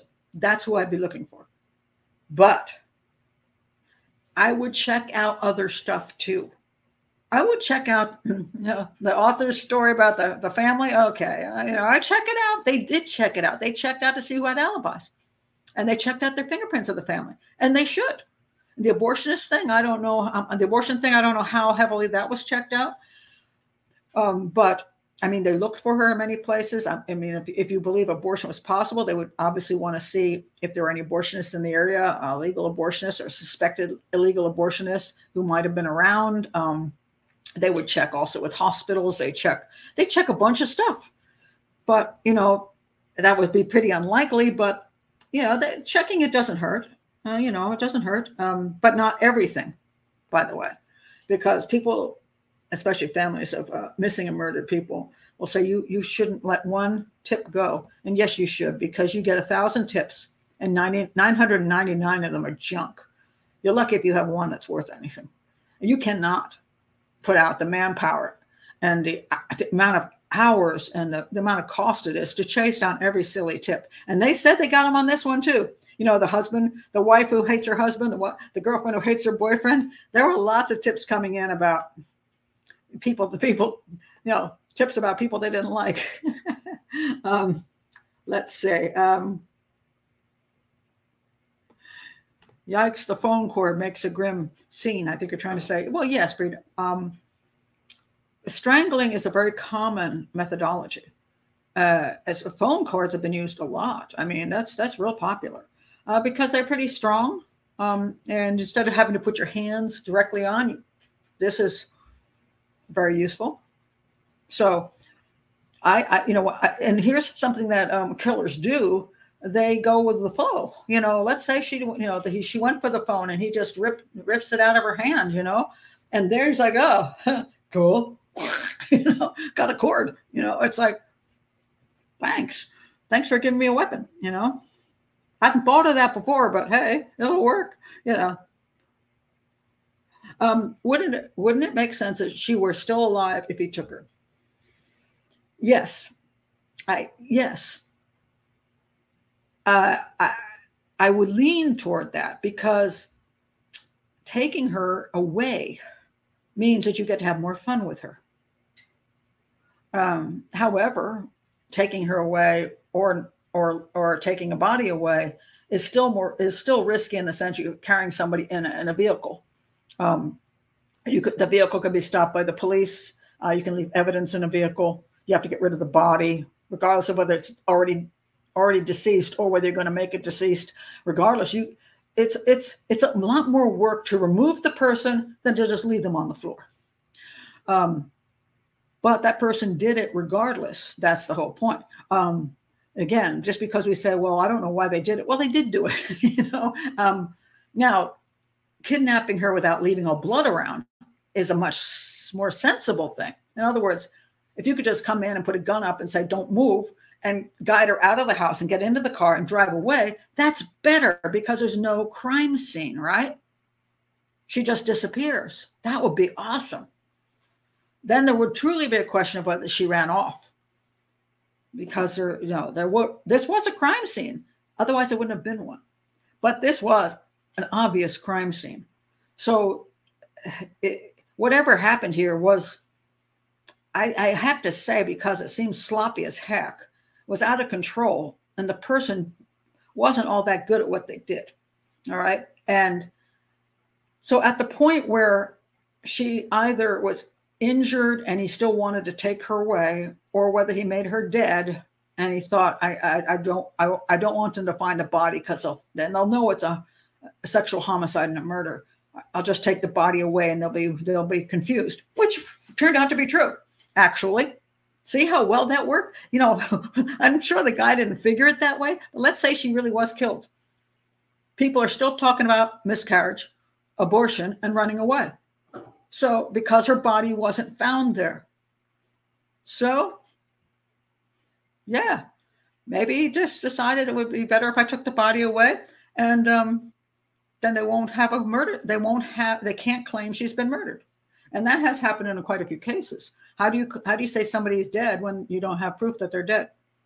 Uh, there was not enough blood in this in, in the crime scene to say she's dead. Now, if you have a massive amount of blood in the crime scene, you can pretty much sure you know that the person is dead. But there was not that much here, so that claim can't be made. So either she was attacked and strangled, and that's why there wasn't so much blood because it was only in the attack, maybe they say bloody nose or or whatever uh, that caused some bleeding, but then he strangled her and that was the end of the bleeding thing.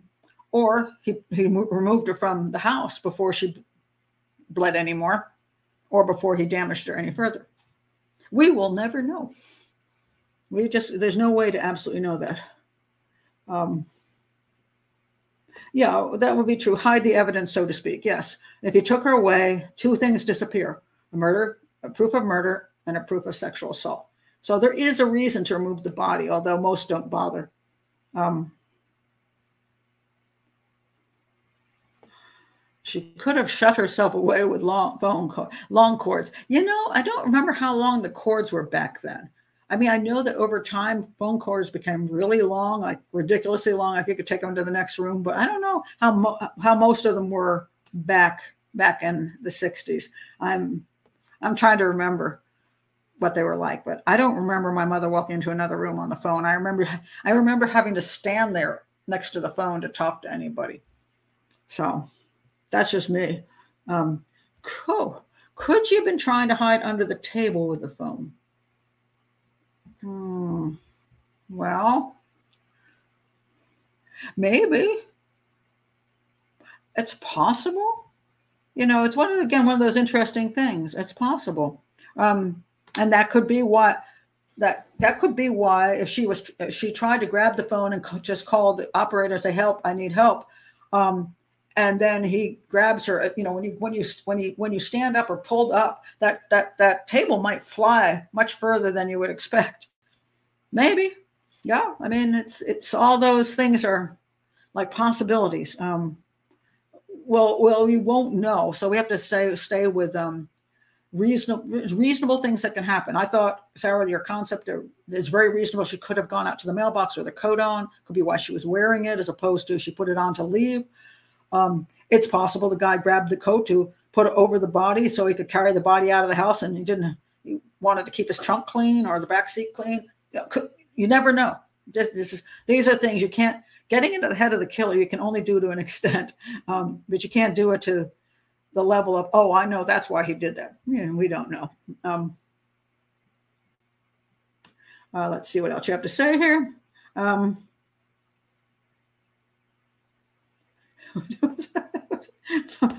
has attachment issues. yes, I do. Uh, that, that's that's the usual sign of a psychopath, right? oh my goodness. Oh, the dry cleaner. That's a good question, Jill. Um, the dry cleaner did come over. Uh, he said that her door was not locked, but he knocked, and because she never locked it, he knocked, and she came and gave him the clothing, and um, he left uh, and did other errands. So, so I assume that there is proof that he when he was there, and he did other errands afterwards. So supposedly, it was not around at the time that she had went missing. However, I have never seen anything really talked about because I don't know when the guy finished his workday. I don't know kind of, what kind of car he might have had stuffed up in a garage someplace. He could have said, "Yeah, I really liked her when I came to do the drive cleaning, so I'm going to go back." It's possible. So I don't know who the police actually proved with solid alibis that they couldn't have committed the crime. And when I say solid again, Solid alibis is an alibi that is not questionable in any way. In other words, mommy is never an alibi, wifey's never an alibi, girlfriend is never an alibi. Um, even this guy, Foster, who's um, his boss gave him this alibi, it, it, it was a little sketchy. Uh, by the time the boss, but mind you, he wasn't a, a right away suspect. It became one. And then the boss had to remember back to a certain day. And how well he remembered it, or he's just trying to he likes a guy and he thinks, oh, God, I'm sure I'll say, you know, you were with me, you know, we're having lunch. Um, I don't know how solid an alibi it is. Now, now, if four people went to lunch together, it would probably be a little bit better. Um, uh, if you have it, you know, anybody took video, pho- well, those days most people didn't do video photos. Um, there was a, or if you were a, a waitress and you came into the restaurant and she, you know, you came in at the restaurant reopened at one o'clock or something, you know, and uh, and you you rolled in at that time, you know, something that really stands out and that you don't have a vested interest in giving that person an alibi. So alibis have to be solid. Um, and that is true. Um, easy to get away uh, with crime in those days, and it's harder now. That is true.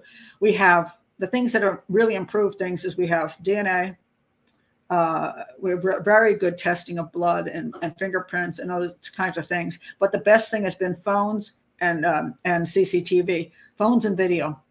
Uh, that has done a tremendous amount for catching people. Really, really good stuff. Let's see. Um, uh,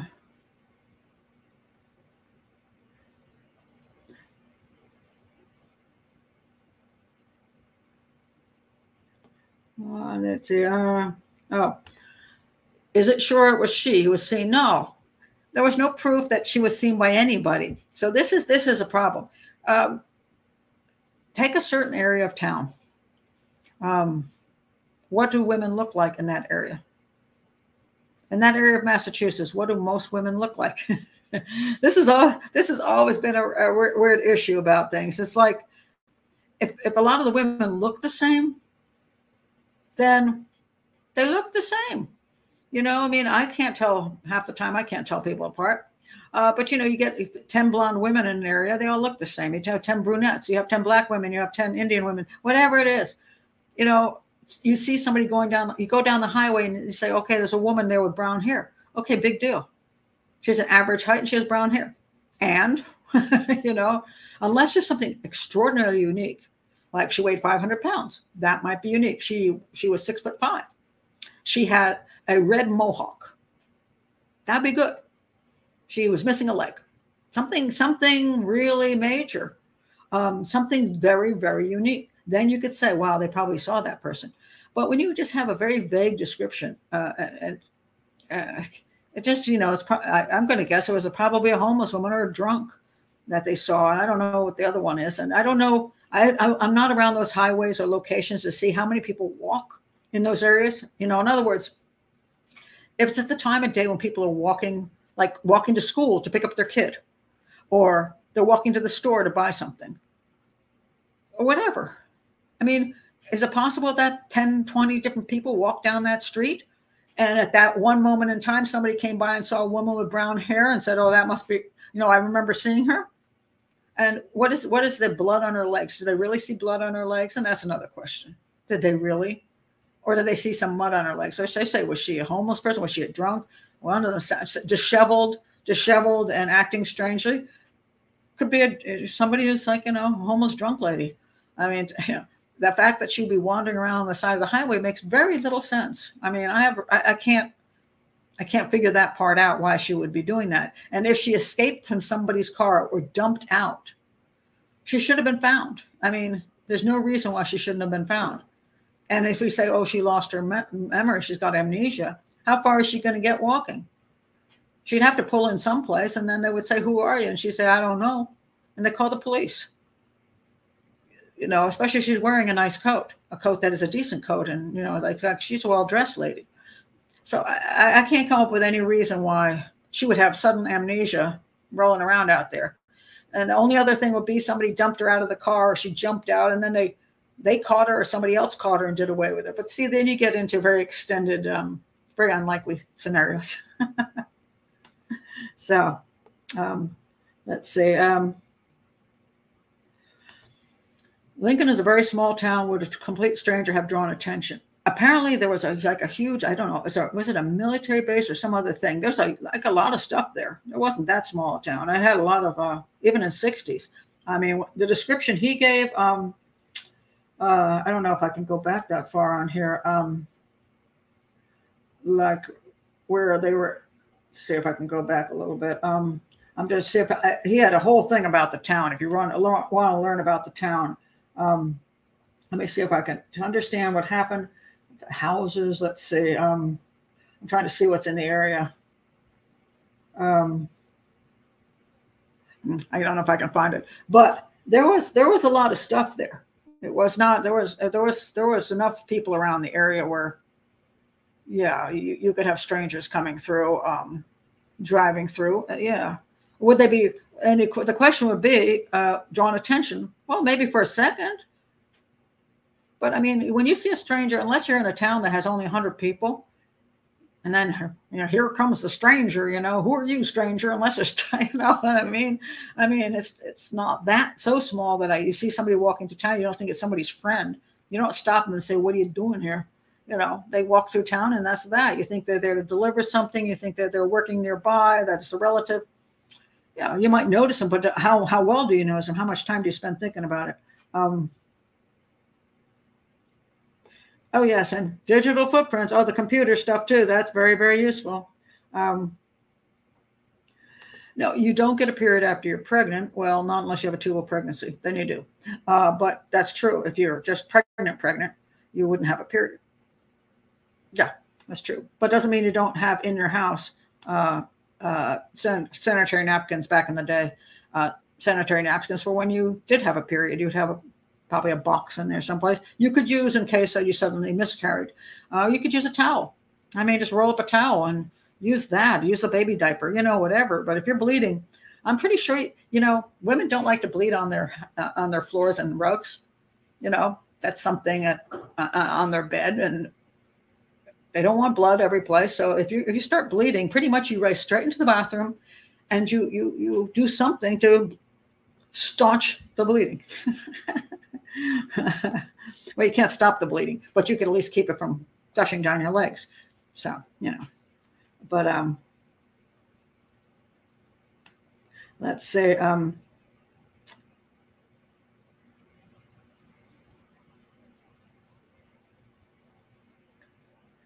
let's see.